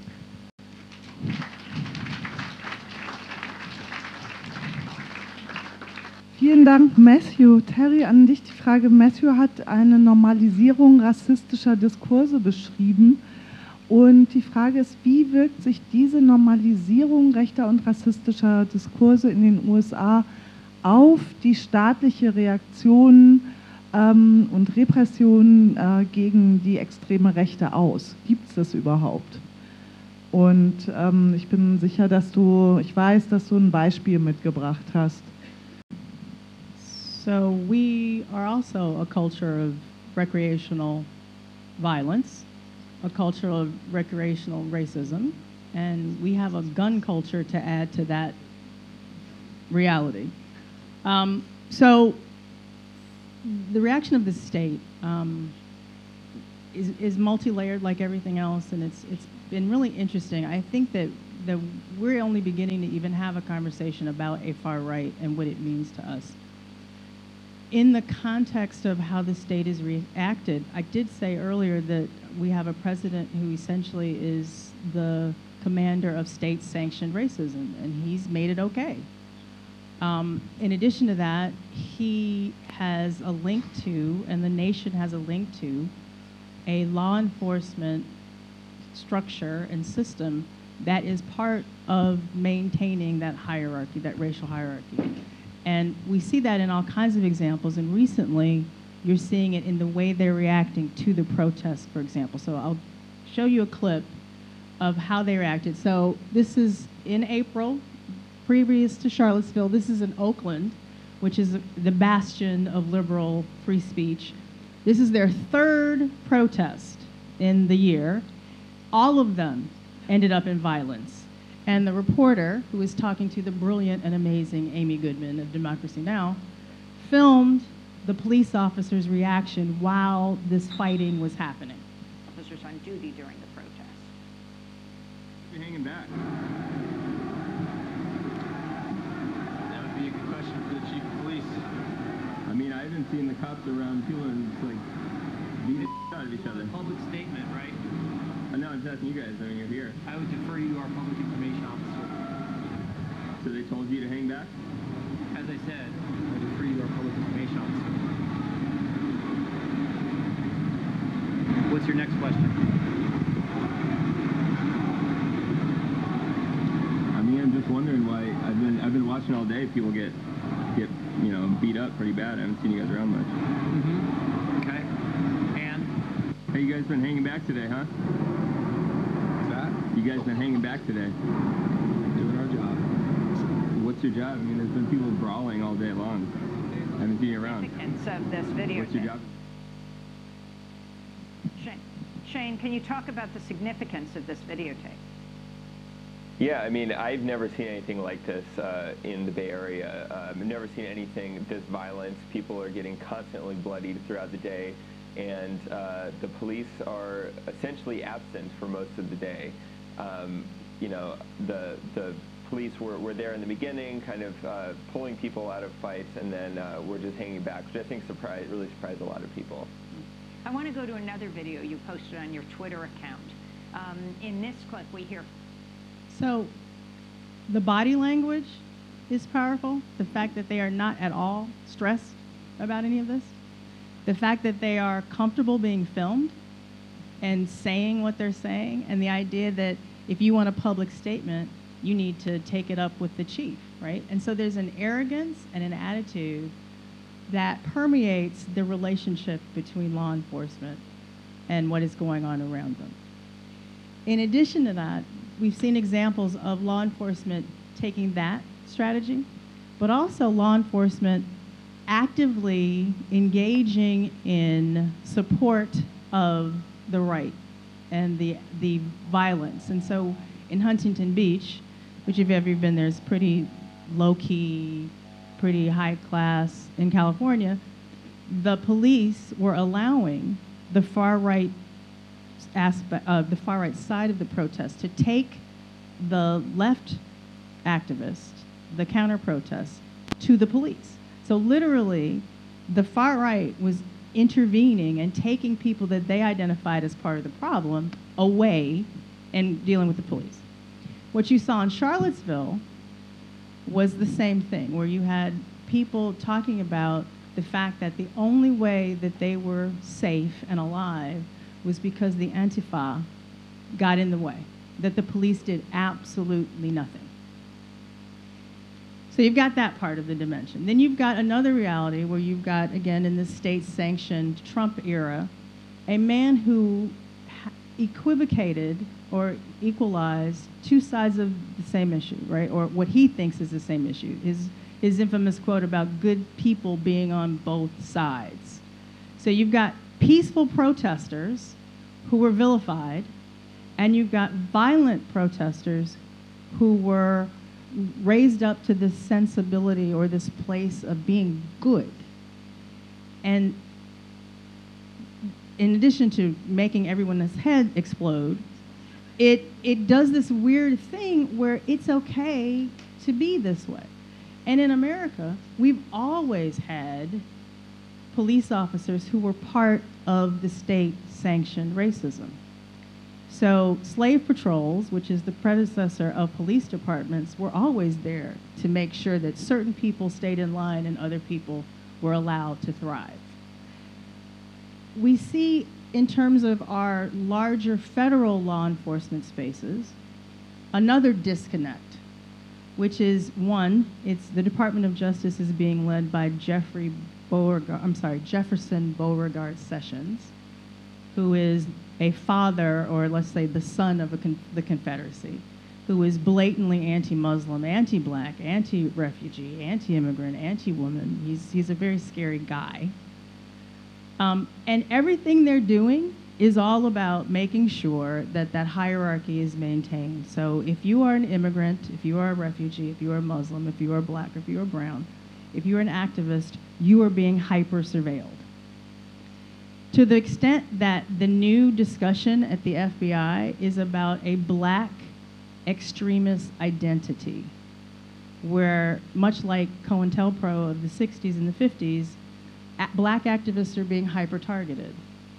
So there's this hostility from the, the Department of Justice uh, for a group of people or several groups of people. Anything that's anybody who's trying to make sure that the white status quo is not preserved. So you've got that dimension. In addition to that, you've got local, much like those folk up there, jurisdictions who are explicitly and outwardly supporting the far right the FBI, again, very problematic, but has found that lots of the police officers that are in these jurisdictions are actually members of neo Nazi groups, members of far right groups. Um, many of them have come back from the military and are um, equally as violent. And so you've got people within the ranks of these places that are supposed to be protecting and serving advancing that same kind of energy that says one group of people has value and everybody else is potentially going to get hurt and they don't care. Ja, vielen Dank, Terry.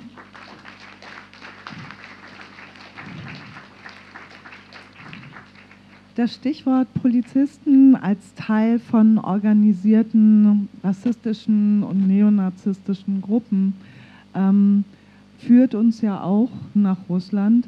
Und zu der Frage, ähm, Alexander, wie würdest du die generelle Linie von der russischen Justiz und den Geheimdiensten in Bezug auf diese organisierten Neonazi-Gruppen, ähm, die diese Mordserien verüben, beschreiben. Gibt es eine generelle Linie oder variiert es von Fall zu Fall? Ist die Antwort des russischen Staats in den letzten Jahren eher Repression gewesen oder täuscht es? Ну, это самое, достаточно сложный вопрос. Он на самом деле очень менялся от, э, от года к году, потому что ну, такое как бы не нацистское движение, но, э, но оно вот связано вот, вот именно с таким прямым расизмом, э, с вот движением вот как вот, само бонхедов, вот нацистских хедов, оно появилось вот с середины 90-х. И имеет смысл рассматривать его, а не многие другие ультраправые объединения российской истории. Das ist eine sehr, äh, sehr komplizierte Frage. Ähm, ähm, ich, ich, kann jetzt ähm, schwer einen, einen, ähm, eine Linie sehen. Es ändert sich. Äh, es ändert sich sogar von Jahr zu Jahr. Ähm, die Art, wie der, äh, die, die, die, staatlichen Organe und auch die Justiz äh, darauf reagiert. Auch deswegen, weil diese Phänomene nicht, nicht so einheitlich sind. Ähm, но с середины 90-х оно появилось. Это Борн? Борн? Не, не, нет, Бонхеда, ну, как движение нацистских хедов, как бы такое вот российское, ну, вот именно европей, такой расизм в европейском понимании. Вот, э, ну, вот, как такое неонацистское движение, оно появилось в России с середины 90-х. Mm. Das ist auch deswegen kompliziert, weil äh, eine rassistische, rassistisch motivierte äh, Bewegung, äh, rechte Bewegung, ähm, das ist ähm, ähm, erschienen in Russland, hat sich gegründet in Russland in den 90er Jahren und seitdem gab es dann verschiedene Entwicklungen innerhalb dieser, dieses Rassismus in, in Russland. но в принципе можно найти достаточно много каких ну, до, ну целый ряд случаев, что какие-то отдельные полицейские или вот самый наверное известный случай это вот связанная с э, вот Комбат-18, группа, э, так называемые Орловские партизаны, как они получили название в медиа. Mhm. Ähm, es gibt äh, in einzelne Fälle, wo es nachgewiesen wurde, dass Polizisten ähm, sich beteiligt haben ähm, äh, ähm, bei den Aktivitäten der Gruppe Combat 18 und eine äh, sogenannte Partisanenbewegung in Orlov. Ну, а Орел это город в центре России. Ähm, äh, in äh, Ariol, äh, das ist eine Stadt in Zentralrussland. Ну да, то есть там как бы фактически ячейка Комбат-18 существовала среди, ее возглавлял преподаватель э, вот элитной академии спецслужб. Ähm, in diesem Fall ähm, gab es dann eine ganze Gruppe. И половина членов ячейки были курсантами этой академии. ähm, von rechtsextremen Mitgliedern von Combat 18 in, in Russland, wo der Anführer ein äh, ähm, äh, Hochschullehrer war in, ähm, in, in einer Akademie für Ausbildung von äh, Sicherheitskräften. Und die Hälfte der Mitglieder waren äh, ähm, seine äh, Studierende in, in, in dieser Gruppe. Но, в принципе, все они сейчас сидят, потому что они устраивали взрывы и нападали на... э, Ну, то есть они устраивали взрывы, и поэтому они Мгм. все сидят. Это было э, в 90-х или Нет, это недавно было, это в 2011 году было. Mhm. Ähm, es handelt sich um einen Vorgang vor, äh, im Jahr äh, 2011. Ähm, die sind jetzt alle verurteilt ähm, und äh, sind im Gefängnis. Also sie haben ähm, äh, Bomben äh, ähm, Ein- gelegt und ähm, haben dann ähm, äh, Terror gemacht.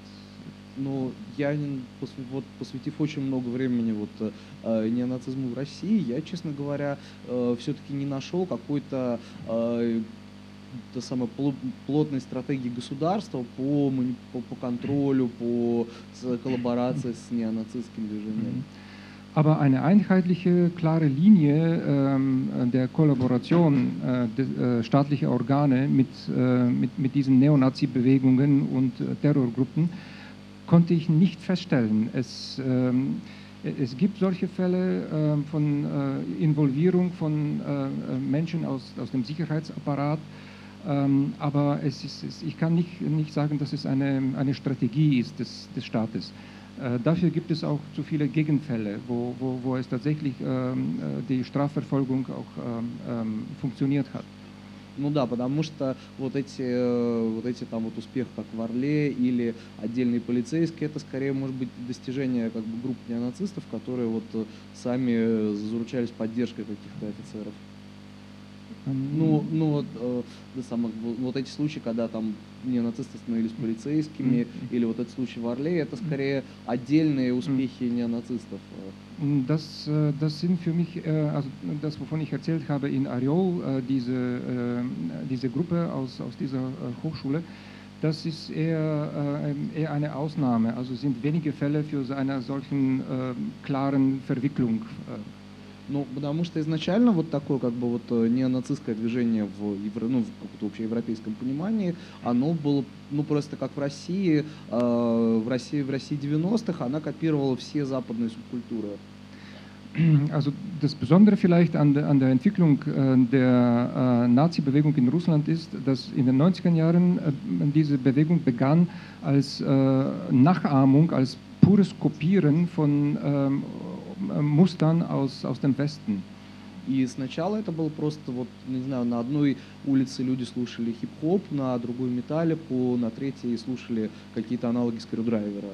Ähm, das war so eine Art Subkultur äh, und existierte äh, also neben auch anderen ähm, äh, Subkulturen wie Rap-Musik. ähm, so, so entstand auch äh, Nazi-Rock-Musik und äh, äh, diese, die, diese Nazi-Bewegung in Russland Subkultur. И когда субкультура, это было гораздо более массовое движение, и оно имело, то есть это были э, нападения, ну, в подавляющем числе случаев связанные все-таки с избиениями, а не с убийствами. Und- когда это было массовым движением. Und dann in den 90ern, als es äh, äh, einigermaßen äh, diese Bewegung eine Massenbewegung war, dann gab es aber keine, äh, nicht so viele Morde, äh, und, äh, sondern äh, vielmehr ähm, ähm, äh, ähm, ähm, wurden die Menschen einfach äh, nur, nur, ver, nur verprügelt, aber nicht, äh, nicht getötet.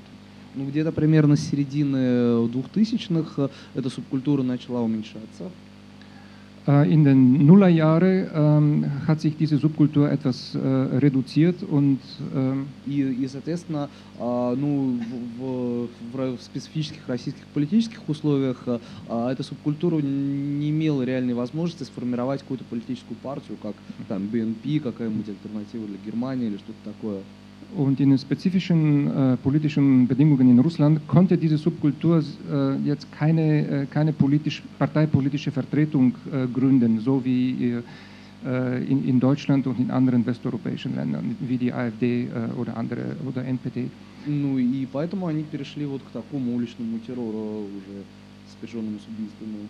Und hat sich dann äh, äh, ausgedrückt äh, in dieser Art von Straßenterror, ähm, äh, den ich schon beschrieben habe. Ну, то есть они и, и вот ну, при том, что в России э, российский режим, он как бы очень консервативный, и для меня он ультраправый, ну, я бы все-таки его мог назвать как такой близкий к, ультра, к авторитарному и ультраправому. Именно вот российское, ну, такое российское насилие на улице, это не то, что нужно властям. Ähm, der Punkt ist, dass in Russland sich ein sehr konservatives politisches Regime gebildet hat in den letzten Jahrzehnten. Und äh, es ist nicht im Interesse dieses Regimes, ähm, ähm, einen Straßenterror recht, äh, ultrarechten Gruppen zu dulden. Und deswegen äh, äh kümmer, wird, wird, wird, das vom Staat nicht, nicht toleriert. Ну и, и в какой-то момент было несколько тысяч э, ультраправых в российских тюрьмах. Äh, Von, vor einigen Jahren gab es äh, einige tausend äh, Rechtsterroristen in den Gefängnissen Russlands. Ну и сейчас э, ультраправых вот гораздо меньше, чем еще несколько лет назад. А, но на самом деле есть ощущение, что, может быть, они взяли какой-то тайм-аут, что-то готовятся к чему-то еще, и это, конечно, не закрытый вопрос в России. Ähm, es gibt tatsächlich ähm, ähm, im Moment etwas weniger ähm, aktive äh, Rechtsterroristen äh, und äh, Rechtster äh, rechtsterroristischen Tat, äh, äh, Straftaten im Vergleich zu noch vor drei, vier Jahren. und es sitzen sehr viele von diesen Menschen in, in Gefängnissen.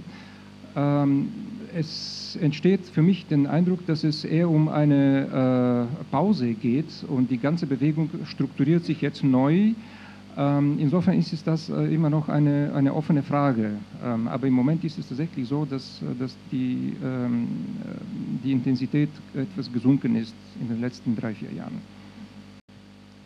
Ja, herzlichen Dank, Alexander. Ähm, Johanna, Alexander hat das Stichwort Polizisten als Teil der Strukturen oder als gar als Anführer der Strukturen erwähnt, auch wenn er gesagt hat, dass es in Russland eher eine Ausnahme gewesen sei. Wie ist es bei Golden Dawn? Wie ist das Verhältnis von Golden Dawn zur Repression und wie war oder zur Strafverfolgungsbehörden und ähm, wie würdest du die staatlichen Reaktionen beschreiben? So, ähm, die Reaktion des Staates kam in Griechenland ähm, unentschuldbar spät. Ähm, es musste ein, äh, ein, griechischer Musiker getötet werden, damit Staat end, der Staat endlich ähm, auf die Herausforderungen der, der Golden Dawn reagiert hat. Äh, Golden Dawn, also ich habe vorhin nur vier Fälle äh, äh erwähnt. Äh, die jetzt in diesem äh, ähm, Gerichtsverfahren ähm, ähm, behandelt werden. Aber Golden Dawn hat viele, äh, sehr viele Angriffe äh, gemacht und auch noch einen Mord geübt gegen den äh, Pakistani-Arbeiter äh, Sakshat Lukman. Ähm, ähm, im Januar 2013, das heißt vor dem Mord an Pavlos Fisas. Also die Beweise waren schon da, die, die, der Staat hätte viel früher reagieren sollen, aber äh, er hat nur dann reagiert, als die Stimmung in der Gesellschaft echt gekippt wurde durch den Mord an Pavlos Fisas. Ähm, das war für Golden Dawn ein Symbolopfer, aber auch dann für die griechische Gesellschaft ein Symbolopfer, weil da hat die, die Gesellschaft irgendwie ähm, äh, begriffen, dass Golden Dawn eine rote Linie überquert hatte und sozusagen einen von uns äh, getötet hat. Ähm, die, äh, ich will jetzt in keine Konkurrenz eingehen, wer die schlimmste Polizei hat, aber äh, ähm, ja, die Situation in Griechenland ist äh, echt schlimm. Ähm, Verwicklung von der Polizei und Golden Dawn ist echt äh, eng. Ähm, hochrangige äh, Polizeibeamten sind äh, äh, gleichzeitig Mitglieder von Golden Dawn. Ähm, wir hatten, also das alles ist vor den äh, Strafverfolgungen. Ähm, wir hatten äh, zum Teil Polizeiwachen, die als, ähm, die als äh, Büros von Golden Dawn äh, ähm, betrieben wurden. Ähm, und äh, die Polizei ist für rechtsextreme Ansichten eine sehr freundliche Umgebung. Ähm, es kam also wie natürlich, dass äh, Polizeibeamten äh, sowohl niedrigere als auch hochrangig sich der Golden Dawn angeschlossen äh, haben. Und umgekehrt, äh, Golden Dawn-Anhänger und Mitglieder fanden in der Polizei äh, nicht nur Akzeptanz, sondern auch äh, Zuflucht, wenn nötig. Ähm, ich will äh, ähm, kurz zwei Beispiele dazu geben, also von, für die Verwicklung von Golden Dawn und, und Polizei und ein Beweis, der Beweis ist, dass ähm, in allen ähm, Nationalwahlen der letzten Zeit ähm, haben wir gesehen, dass in der Polizei Golden Dawn äh, ein, äh, von äh, 40 bis 60 Prozent gekriegt hat. Und das haben wir gesehen, weil es gibt ähm, äh, spezielle Wahllokalen für die Spezialeinheiten der Polizei. Äh, in diesen Wahllokalen hat Golden Dawn 40 äh, bis 60 äh, Prozent gekriegt. Ähm, die zwei Beispiele ähm, werde ich ähm, mit, mit, mit Worten von den, von den Nazis selber äh, nennen. Äh, ein, äh, nach, den, nach den ersten Verhaftungen, nach dem Mord an Pavlos Fissas, hat ein hochrangiges Mitglied von, von Golden Dawn gesagt, ähm, sie mussten das halbe Polizeiapparat abbauen, um uns zu verhaften. Äh, das stimmt nicht ganz, also nicht das halbe Polizeiapparat, aber es sind tatsächlich ein paar Köpfe gefallen. Also ein ähm, paar äh, hochrangige Polizisten mussten von ihren Posten entfernt werden, damit die, die, die Mitglieder von Golden Dawn in dieser Gegend oder in diesem Stadtteil tatsächlich äh, verhaftet werden konnten. Ähm, das zweite Beispiel ist äh, ein Zitat von dem Mörder von Pavlos Fissos, der an der Stelle verhaftet wurde. Ähm, und sie haben ihn dann in, in, ins Polizeiauto gebracht. Als er da saß, hat er zu den Polizisten gesagt, ich bin einer von euch. Und damit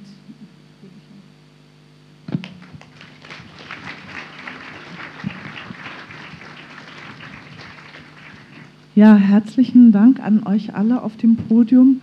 Ähm, nach diesen zwei Runden auf dem Podium, die uns, glaube ich, wirklich in einer sehr großen Dichte die Kontinuitätslinien und die parallelen Stränge, aber auch die Unterschiede deutlich gemacht haben, rassistischen, organisierten Terrors und staatlicher Reaktionen darauf, habt ihr die Gelegenheit, Fragen zu stellen an die Gäste auf dem Podium.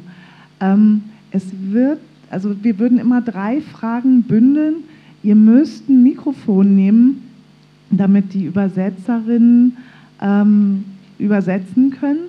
Und ähm, ich finde es bemerkenswert, wie viele Menschen nach ein, dreiviertel Stunden immer noch da sind. ähm, gucken wir mal, wie viele Fragen da sind. Ähm, genau. Wir wollen halt nicht, dass es irgendwann so ausplätschert, sondern machen dann lieber nochmal eine Schlussrunde und dann habt ihr Gelegenheit, mit Einzelnen auf dem Podium auch weiter zu sprechen. Hier und da hinten. Genau. Ähm, das Mikro, ja? Ähm, dann würde ich du ganz vorne, die Frau, dann du da hinten und du.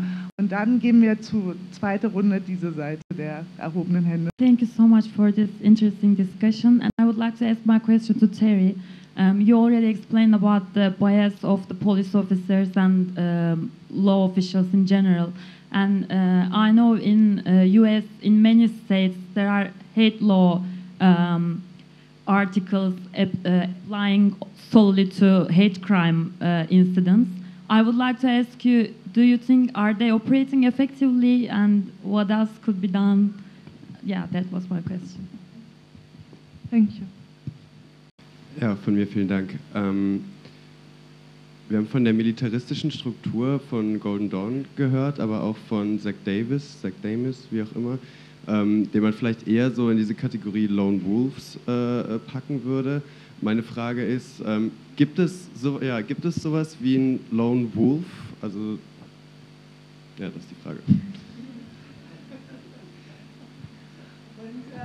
Hast du eine Vorliebe, wer diese Frage beantworten soll auf dem Podium?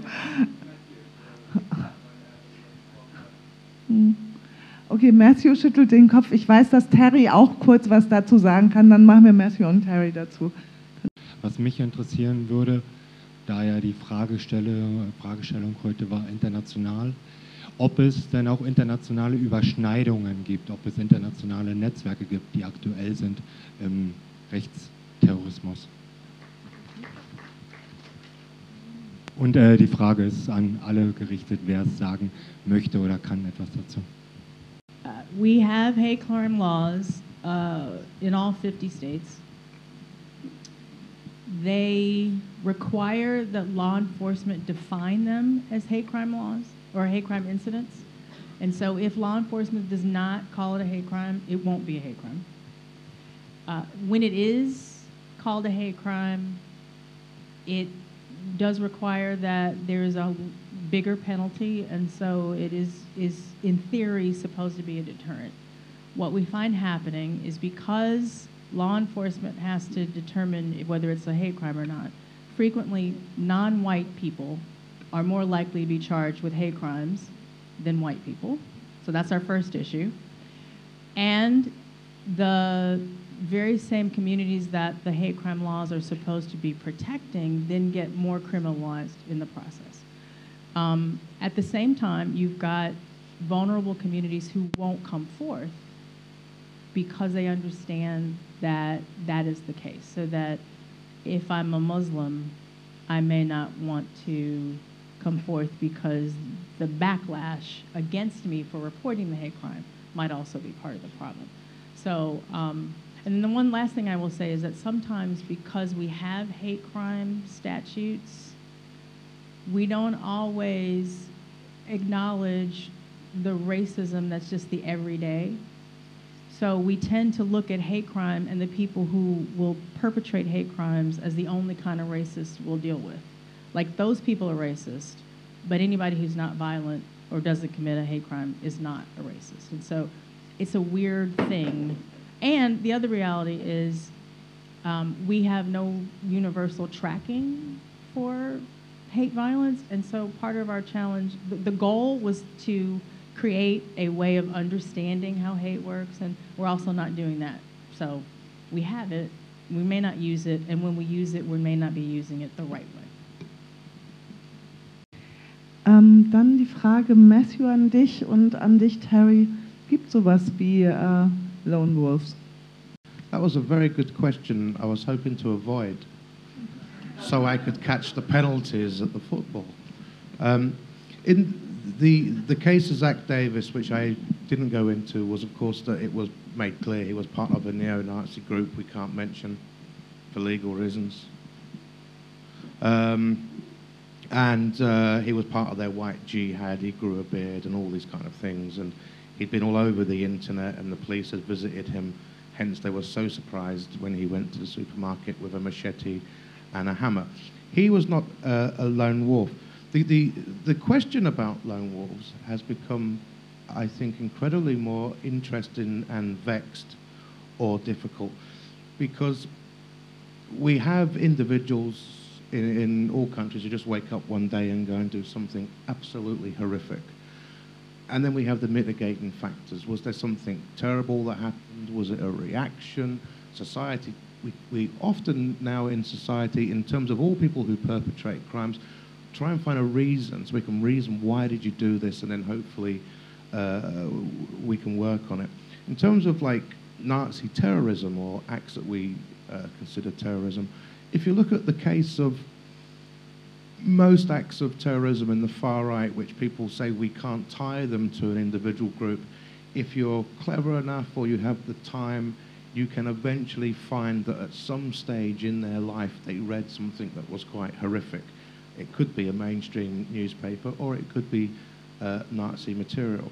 And in 2017, social media in Britain, uh, you just have to turn it on, such as the strength of hate messages on social media in the UK. Like the most popular political party on Facebook in Britain is also potentially the smallest, but they also have more likes than anybody else because they can just continually churn out messages that people are attracted to.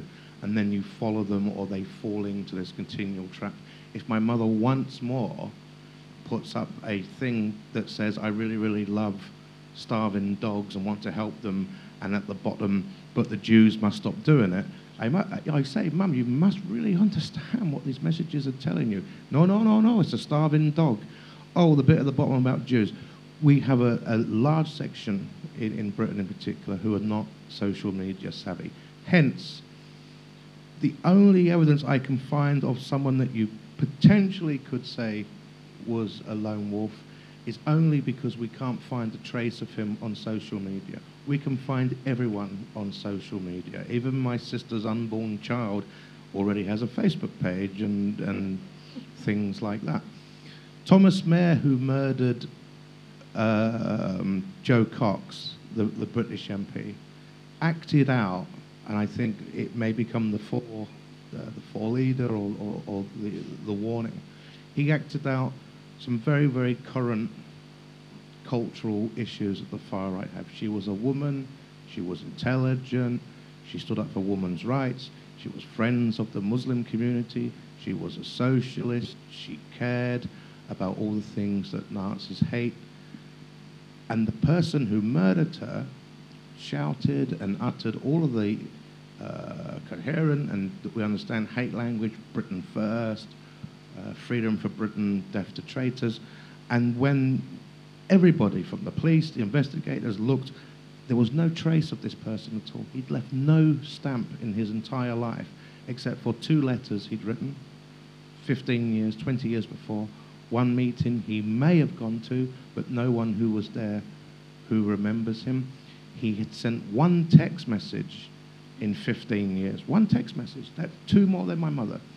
He had left no trail, social, cultural, economic at all whatsoever, and yet we know he had at some stage connections with Nazis. I think the idea that this, this, the, the lone wolf, I think we have to change our thinking about it because it is almost impossible in modern society not to come into contact with the messages and the ideas, and particularly with social media. I don't understand, I don't know about Germany, but in Britain, the first thing you do when you wake up is you go to the toilet, and while on the toilet, you tell people you're having breakfast.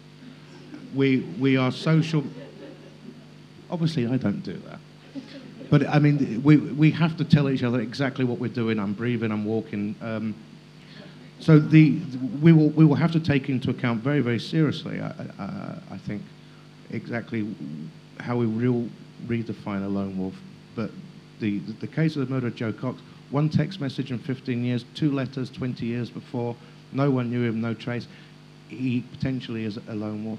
But of course, as I said before, we're in an age of recreational violence. We're in an age where language and hatred and racism itself is not the, and I'm very, very clear on this, in the, particularly in the case of Britain, racism, Islamophobia, homophobia are no longer the domain of the extreme far right. That is the currency by which we have to navigate ourselves and identifying lone wolves based on what is accessible is very, very difficult. Mm. Uh, so, so similarly, if you take someone like a Dylan Roof, who at 21 walked into a black church and assassinated nine people, he doesn't fit the definition of the lone wolf that we've been using up until now because he also was not radicalized in person. He was self radicalized and radicalized online. And so, what we used to say is you had to be around people, you had to meet with them, you had to hang out with them, there had to be some personal contact. He didn't have any of that. He found himself isolated, went online, literally Googled black on white crime, found a racist website, and fell into the rabbit hole. And two and a half later, two and a half years later, decided that the thing he needed to do was to assassinate these people. He had a 2,400 word racial manifesto. He had his own website, thelastRhodesian.com, that tracked all of the things he did building up to that.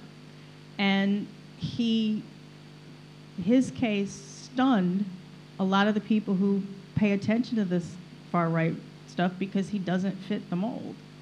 And yet, everything about him is far right. Everything about him is is deep, deep racism, as if he was radicalized in exactly the same way that his predecessors were. Um, and he is very clear that his connections to the Klan, his connections to this are real and profound.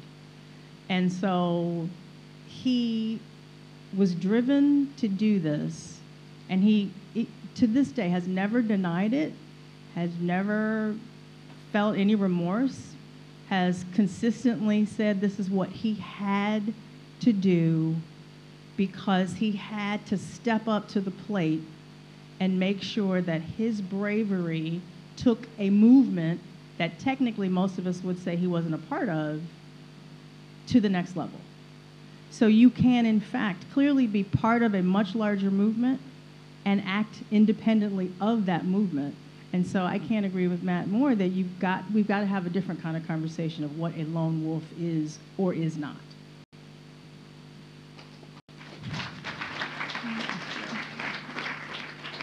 Jonna, die Frage nach den internationalen Netzwerken, die würde ich als erstes an dich für eine kurze Antwort geben und dann Matthew, kurze Antwort. Ja, ähm, ich will nur kurz, kurz beantworten, weil äh, ich bin ein bisschen überfragt. Äh, mein, es, mein Kollege aus Griechenland, Janis, sitzt hier im äh, Publikum und äh, kann vielleicht äh, später was dazu sagen, der, also nach der Veranstaltung. Ähm, so, ähm, internationale Netzwerke ähm, am Beispiel von, von äh, Golden Dawn ja, die haben Verbindungen mit, mit äh, deutschen äh, Nazis, äh, mit dem Dritten Weg. Äh, wir wissen auch von Verbindungen mit äh, National Action äh, aus England. Ähm, die Frage, die sich gestellt hat in den zwei letzten Tagen hier, war, ob diese internationalen Netzwerke tatsächlich strate strategische Zwecke haben oder ob sie nur so Kontakte sind.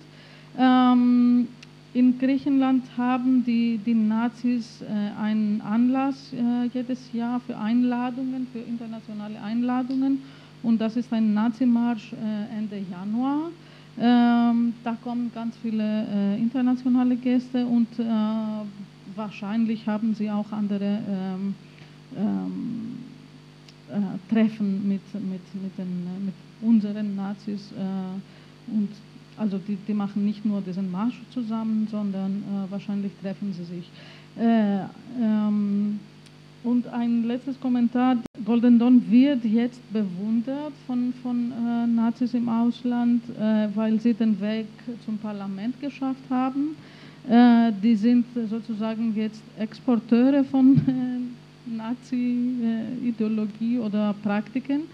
Ähm, Bisher äh, haben sie andere Nazi-Gruppen äh, bewundert oder die haben äh, ähm, Erfahrungen und Praktiken eher importiert.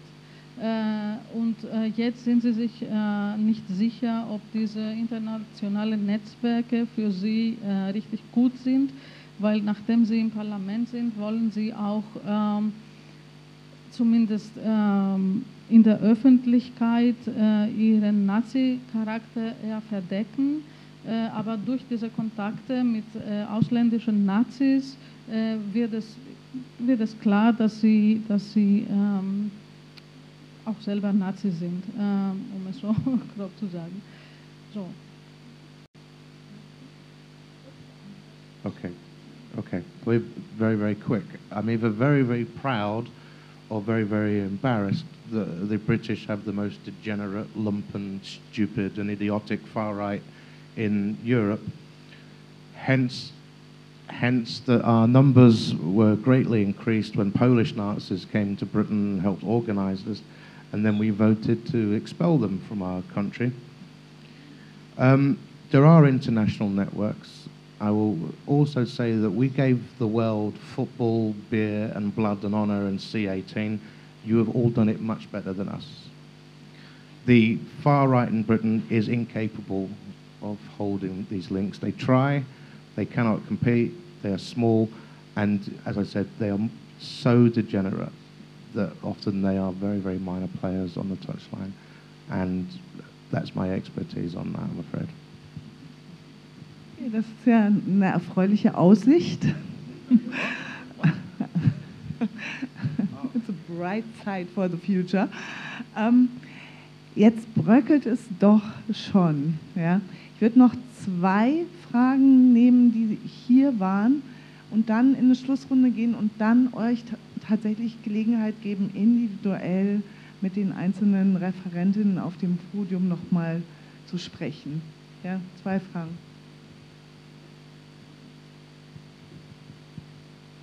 Äh, ich hätte eine Frage an Alexander. Und zwar, wie wirkt sich der Krieg in der Ukraine auf die ne russische Neonazi-Szene aus? Ich habe gelesen, dass sozusagen russische Neonazis auf beiden Seiten dieses Konfliktes kämpfen.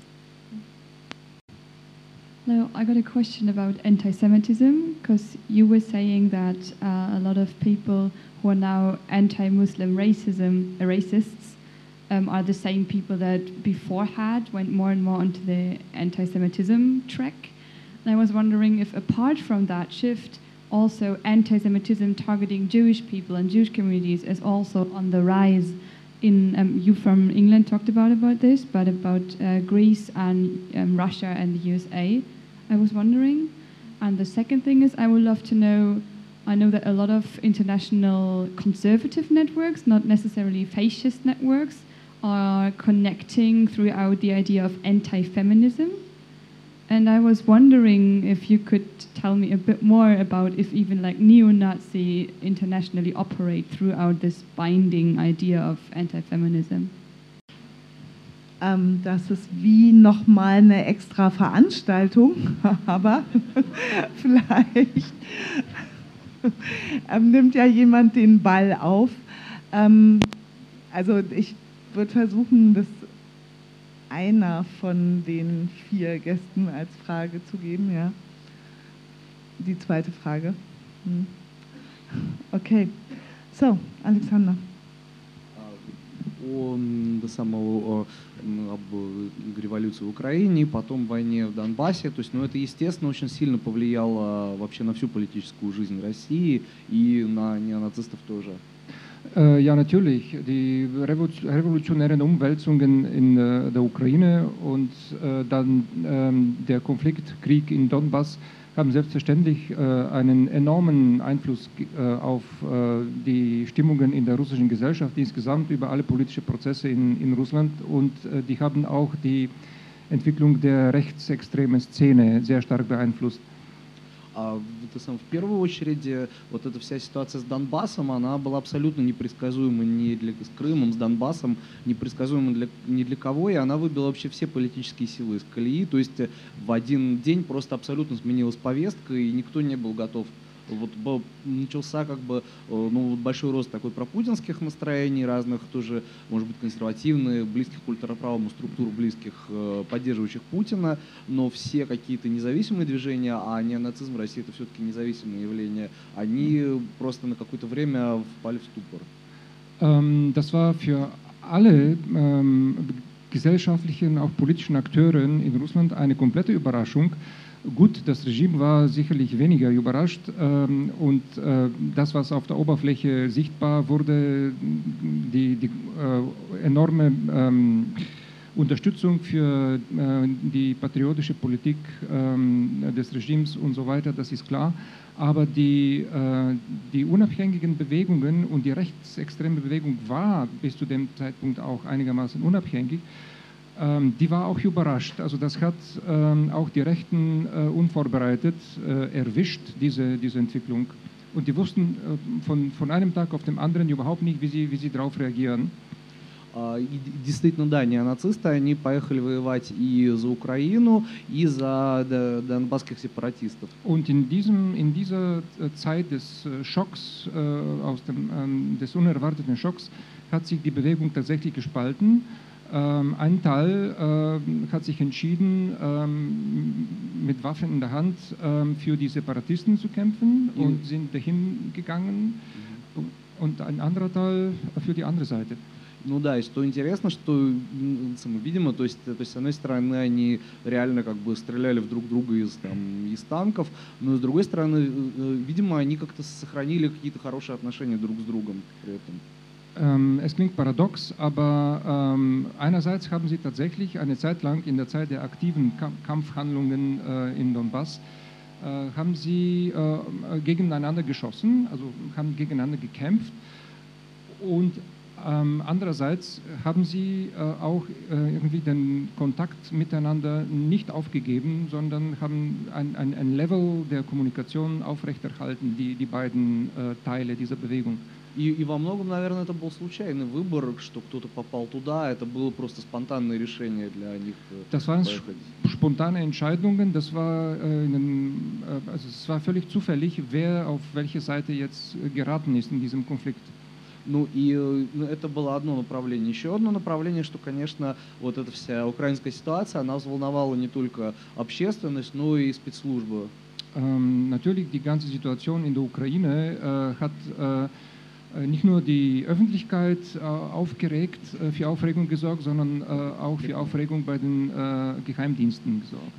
Действительно, вот в 2014 году была беспрецедентная ситуация, что ну, в России такое самое крупное националистическое мероприятие, это 4 ноября, так называемый «Русский марш». Ähm, hier ein Beispiel. Ähm, Im Jahr 14, äh, 2014 ähm, gab es dann eine, ähm, Schlüssel, ein Schlüsselevent der ganzen rechtsextremen Szene in Russland. Das ist der sogenannte äh, russische Marsch am 4.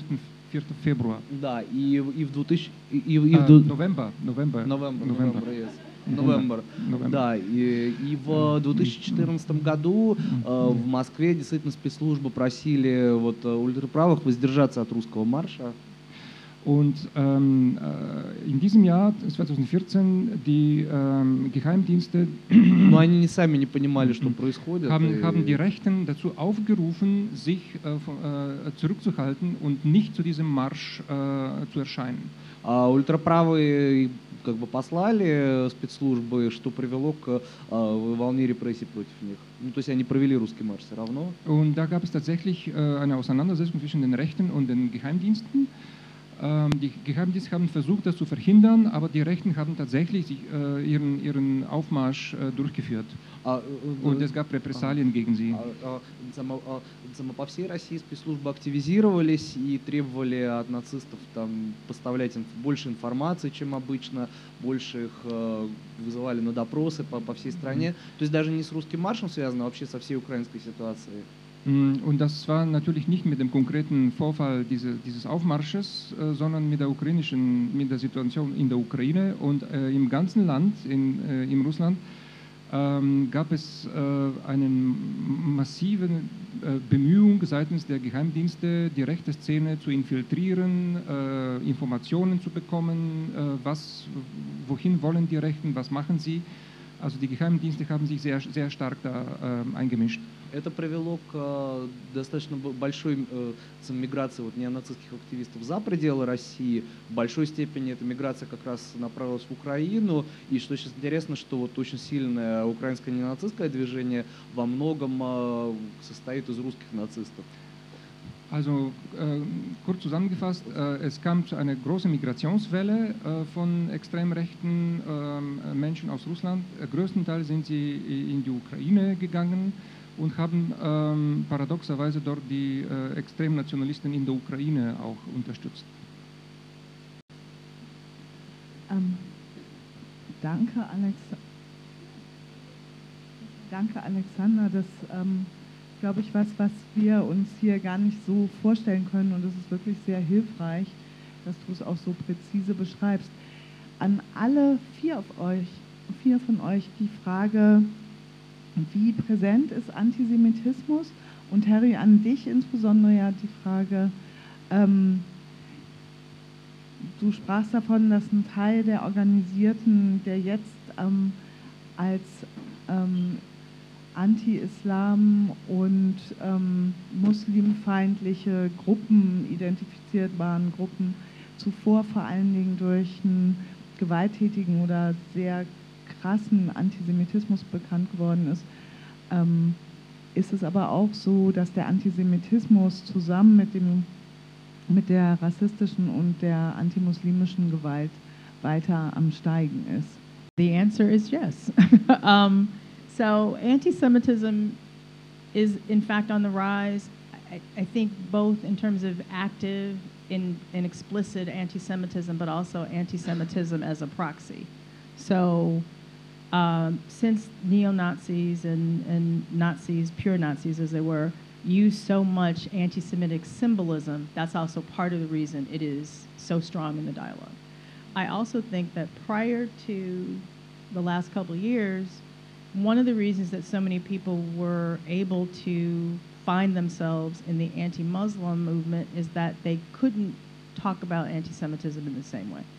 We had sufficiently commit, convinced people that is not cool, you can't do that. And so their, their answer was if I can't do that, then I'll just flip it into something else. So what we're seeing is a combination of those two things. And but yes, good old-fashioned anti-Semitism is on the rise. In fact, one of the things that we saw post-election was the defacement of Jewish cemeteries. Well, you know, there's waves of that, and it tends to happen particularly where there are larger Jewish populations, but it was all over the country. And so, where's that coming from? And as we know, SWAT stickers are an easy way to send a, a message about where you land on the continuum of who's supposed to be here and who's not. Antisemitismus ist natürlich gehört zur, zum Rückgrat der, der Ideologie von äh, Golden Dawn, äh, weil sie pure Nazis sind. Äh, die, ja, die, die sprechen ganz gerne über die internationale zionistische Verschwörung und so weiter und so fort. Die haben auch ähm, die Stiftung verbal, an, die Rosa-Luxemburg-Stiftung verbal angegriffen, als Teil der äh, internationalen zionistischen äh, Verschwörung äh, und die Stiftung der Juden äh, Rosa Luxemburg, äh, die direkt durch Merkel finanziert wird und bla bla. Ähm, ähm, die, die singen auf äh, Konzerte, die sie gemeinsam mit, mit deutschen Nazis organisieren, Juden raus und so weiter. Also Antisemitismus ist äh, sehr äh, präsent. Aber ähm, äh, die, die Golden Dawn, die haben ein ganzes Spektrum, ähm, ähm, das von Antisemitismus bis hin zu Antifeminismus reicht, äh, da drin auch Rassismus, Anti-Linke und bla bla. Ähm, und von diesem Spektrum ähm, sind ähm, bei Gelegenheit ähm, äh, manche Aspekte aktuell oder nicht.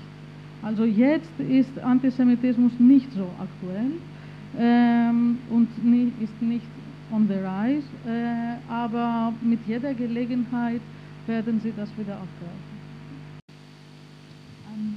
Ja, Alexander, ja, genau. Wie wichtig ist Antisemitismus als Teil neonazistischer ähm, Ideologie, aber auch äh, Taten? Ну, в России, конечно, да. В в России сложно себе представить Россию без антисемитизма. Es ist schwer, sich Russland ohne Antisemitismus vorzustellen. Но, ну, конечно, сейчас евреев гораздо меньше, и это все более какое-то мифическое явление. Ну, то есть э, раньше в России было много евреев, сейчас в России действительно ну, э, сам евреев гораздо меньше, и это все больше не какие-то конкретные атаки, а какие, какая-то мифология. Ähm, zurzeit sind, äh, ist einfach die Zahl der, der, der jüdischen äh, Bürger, der Juden in, in Russland äh, nicht mehr so hoch wie in früheren Zeiten, ähm, aufgrund von Auswanderung. Но, э, с одной стороны, вот э, э, саморавины, вот, ну, руководство такой какой-то религиозной и религиозных еврейских общин, они прекрасно там бывают на, а, на одних приемах с Владимиром Путиным, и, в принципе, они вполне хорошо взаимодействуют с властями. Mm, Insofern, äh, wenn wir äh, also an, ähm, äh, Hass gegen, gegen Juden hat eher so eine mythische Bedeutung. Ähm, natürlich treffen sich jetzt re regelmäßig Vertreter der Macht, auch Putin mit Vertretern jüdischer Organisationen in Russland. А, Но, с другой стороны, было несколько скандалов, когда, допустим, на, на телевидении попадали просто откровенные э, конспирологические, антисемитские фильмы про какой-то мигровой заговор евреев. Так вот, было несколько скандалов, например. Это скандал или... Ну, ну, был скандал, потому что по э, федеральному телевидению, на федеральное телевидение, ну, видимо, относительно случайно попадали конспирологические, антисемитские фильмы про мировой еврейский заговор. Das, äh, ähm, äh, andererseits äh, gelangen äh, in, äh, in, im russischen Staats, staatlichen Fernsehen ähm, ähm, äh, auch Filme und äh, Федеральное телевидение. ähm,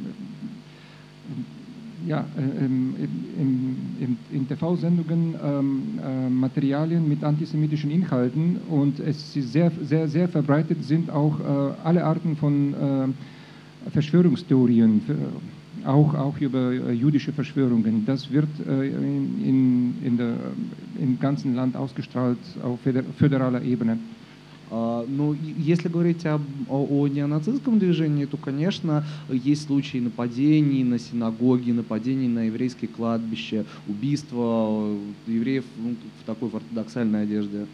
Äh, Und ja, es, es, es, äh, es, es gab auch konkrete Fälle, äh, Überfälle äh, auf jüdische Einrichtungen, auf, ähm, auf Friedhöfen, auf Synagogen und auch äh, jüdische Menschen ähm, wurden Opfer von äh, rechtsextremer äh, Gewalt. Но, с другой стороны, конечно, вот для них более первичные цели это, это вот исламские разные общины, бездомные, геи. Но в большей степени, я думаю, исламские больше всего. Mm. No, Haupt, äh, aber Hauptziele äh, der rechten Gewalt sind in Russland äh, äh, trotzdem andere. Das sind äh, Muslime, äh, Homosexuelle ähm, ähm, und, und andere. Also Juden stehen nicht, nicht an erster Stelle. А, И, самое, ну и а, это самое, даже были случаи взаимодействия вот российских неонацистов с какими-то а, ультраправыми Израиля вот по теме вот анти, по, исла- по антиисламской теме. Und auf dieser Basis äh, ga- gab es sogar Fälle von Zusammenarbeit zwischen äh, Rechtsextremen und äh, au- auf der Grundlage des, der, der, äh, des Hasses gegen Muslime auch äh, ähm, gab es Fälle von Ko Zusammenarbeit zwischen Rechtsextremen und äh, ra äh, radikalen Gruppen. Да, и вообще у российских ультраправых очень интересное представление о евреях. То есть я, мне кажется, они буквально верят в сионистское оккупационное правительство, вот в прямом смысле этого слова. Ähm, was die, die Weltanschauung der, Rech der extremen Rechten in Russland betrifft, ich glaube schon, dass sie äh, direkt daran glauben, an einer jü jüdischen Verschwörung.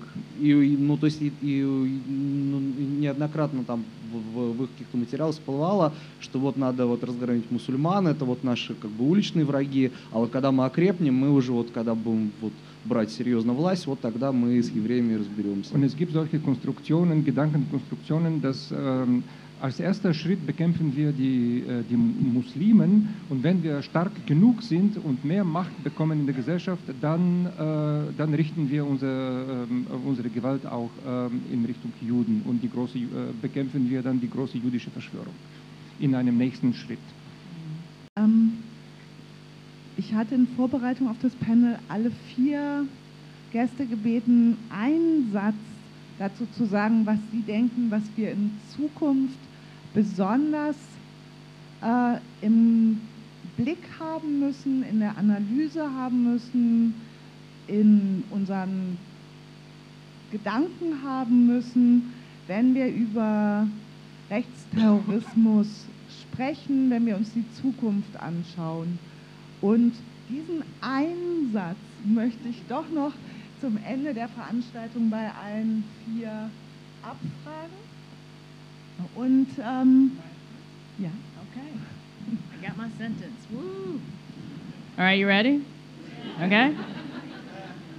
There are more of us than there are of them.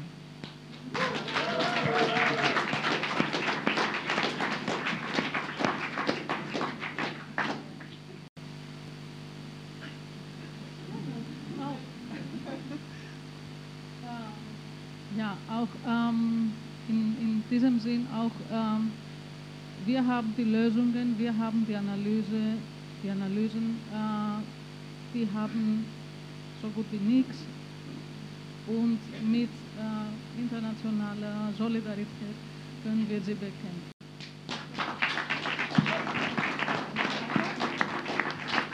Alexander? А, Если так м, в одном предложении, то, наверное, конечно, у неонацизма, мне кажется, ни- никаких серьезных шансов э, нету. Это, э, это очень агрессивное, но как бы маргин- маргинализованное явление. Вот, и, и мне кажется, оно вполне преодолимо в России. Die Neonazis zu, zu bekämpfen, das ist eine lösbare Aufgabe. Sie haben keine Chance.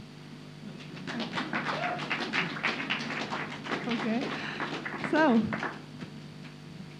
I am British. I am leaving Europe very soon. I am taking with me your cheap beer and cigarettes. Dankeschön.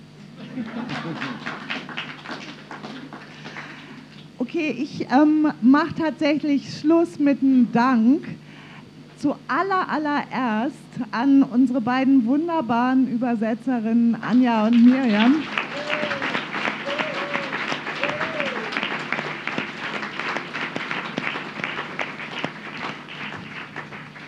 Wirklich herzlichen Dank und an Ivo, der noch nicht mal eine Vorbereitung hatte.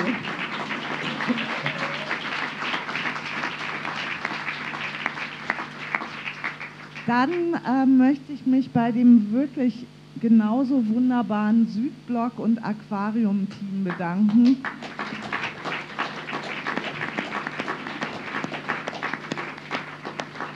Best Location, Best Catering, Best Food ever. Und ähm, zuletzt geht der Dank nochmal an die Referentin, an die Security und ähm, an euch alle, dass ihr dieses Thema nicht loslasst, ähm, dass ihr weiterhin die Aufklärung aller offenen Fragen im NSU-Komplex verlangt. Davon gehe ich aus. Und ähm, dass wir Themen, die wirklich wichtig sind, wie beispielsweise die antifeministische internationale Rechte ähm, als Netzwerk, demnächst vielleicht wieder mit einer internationalen Perspektive hier diskutieren können. Schönen Abend euch.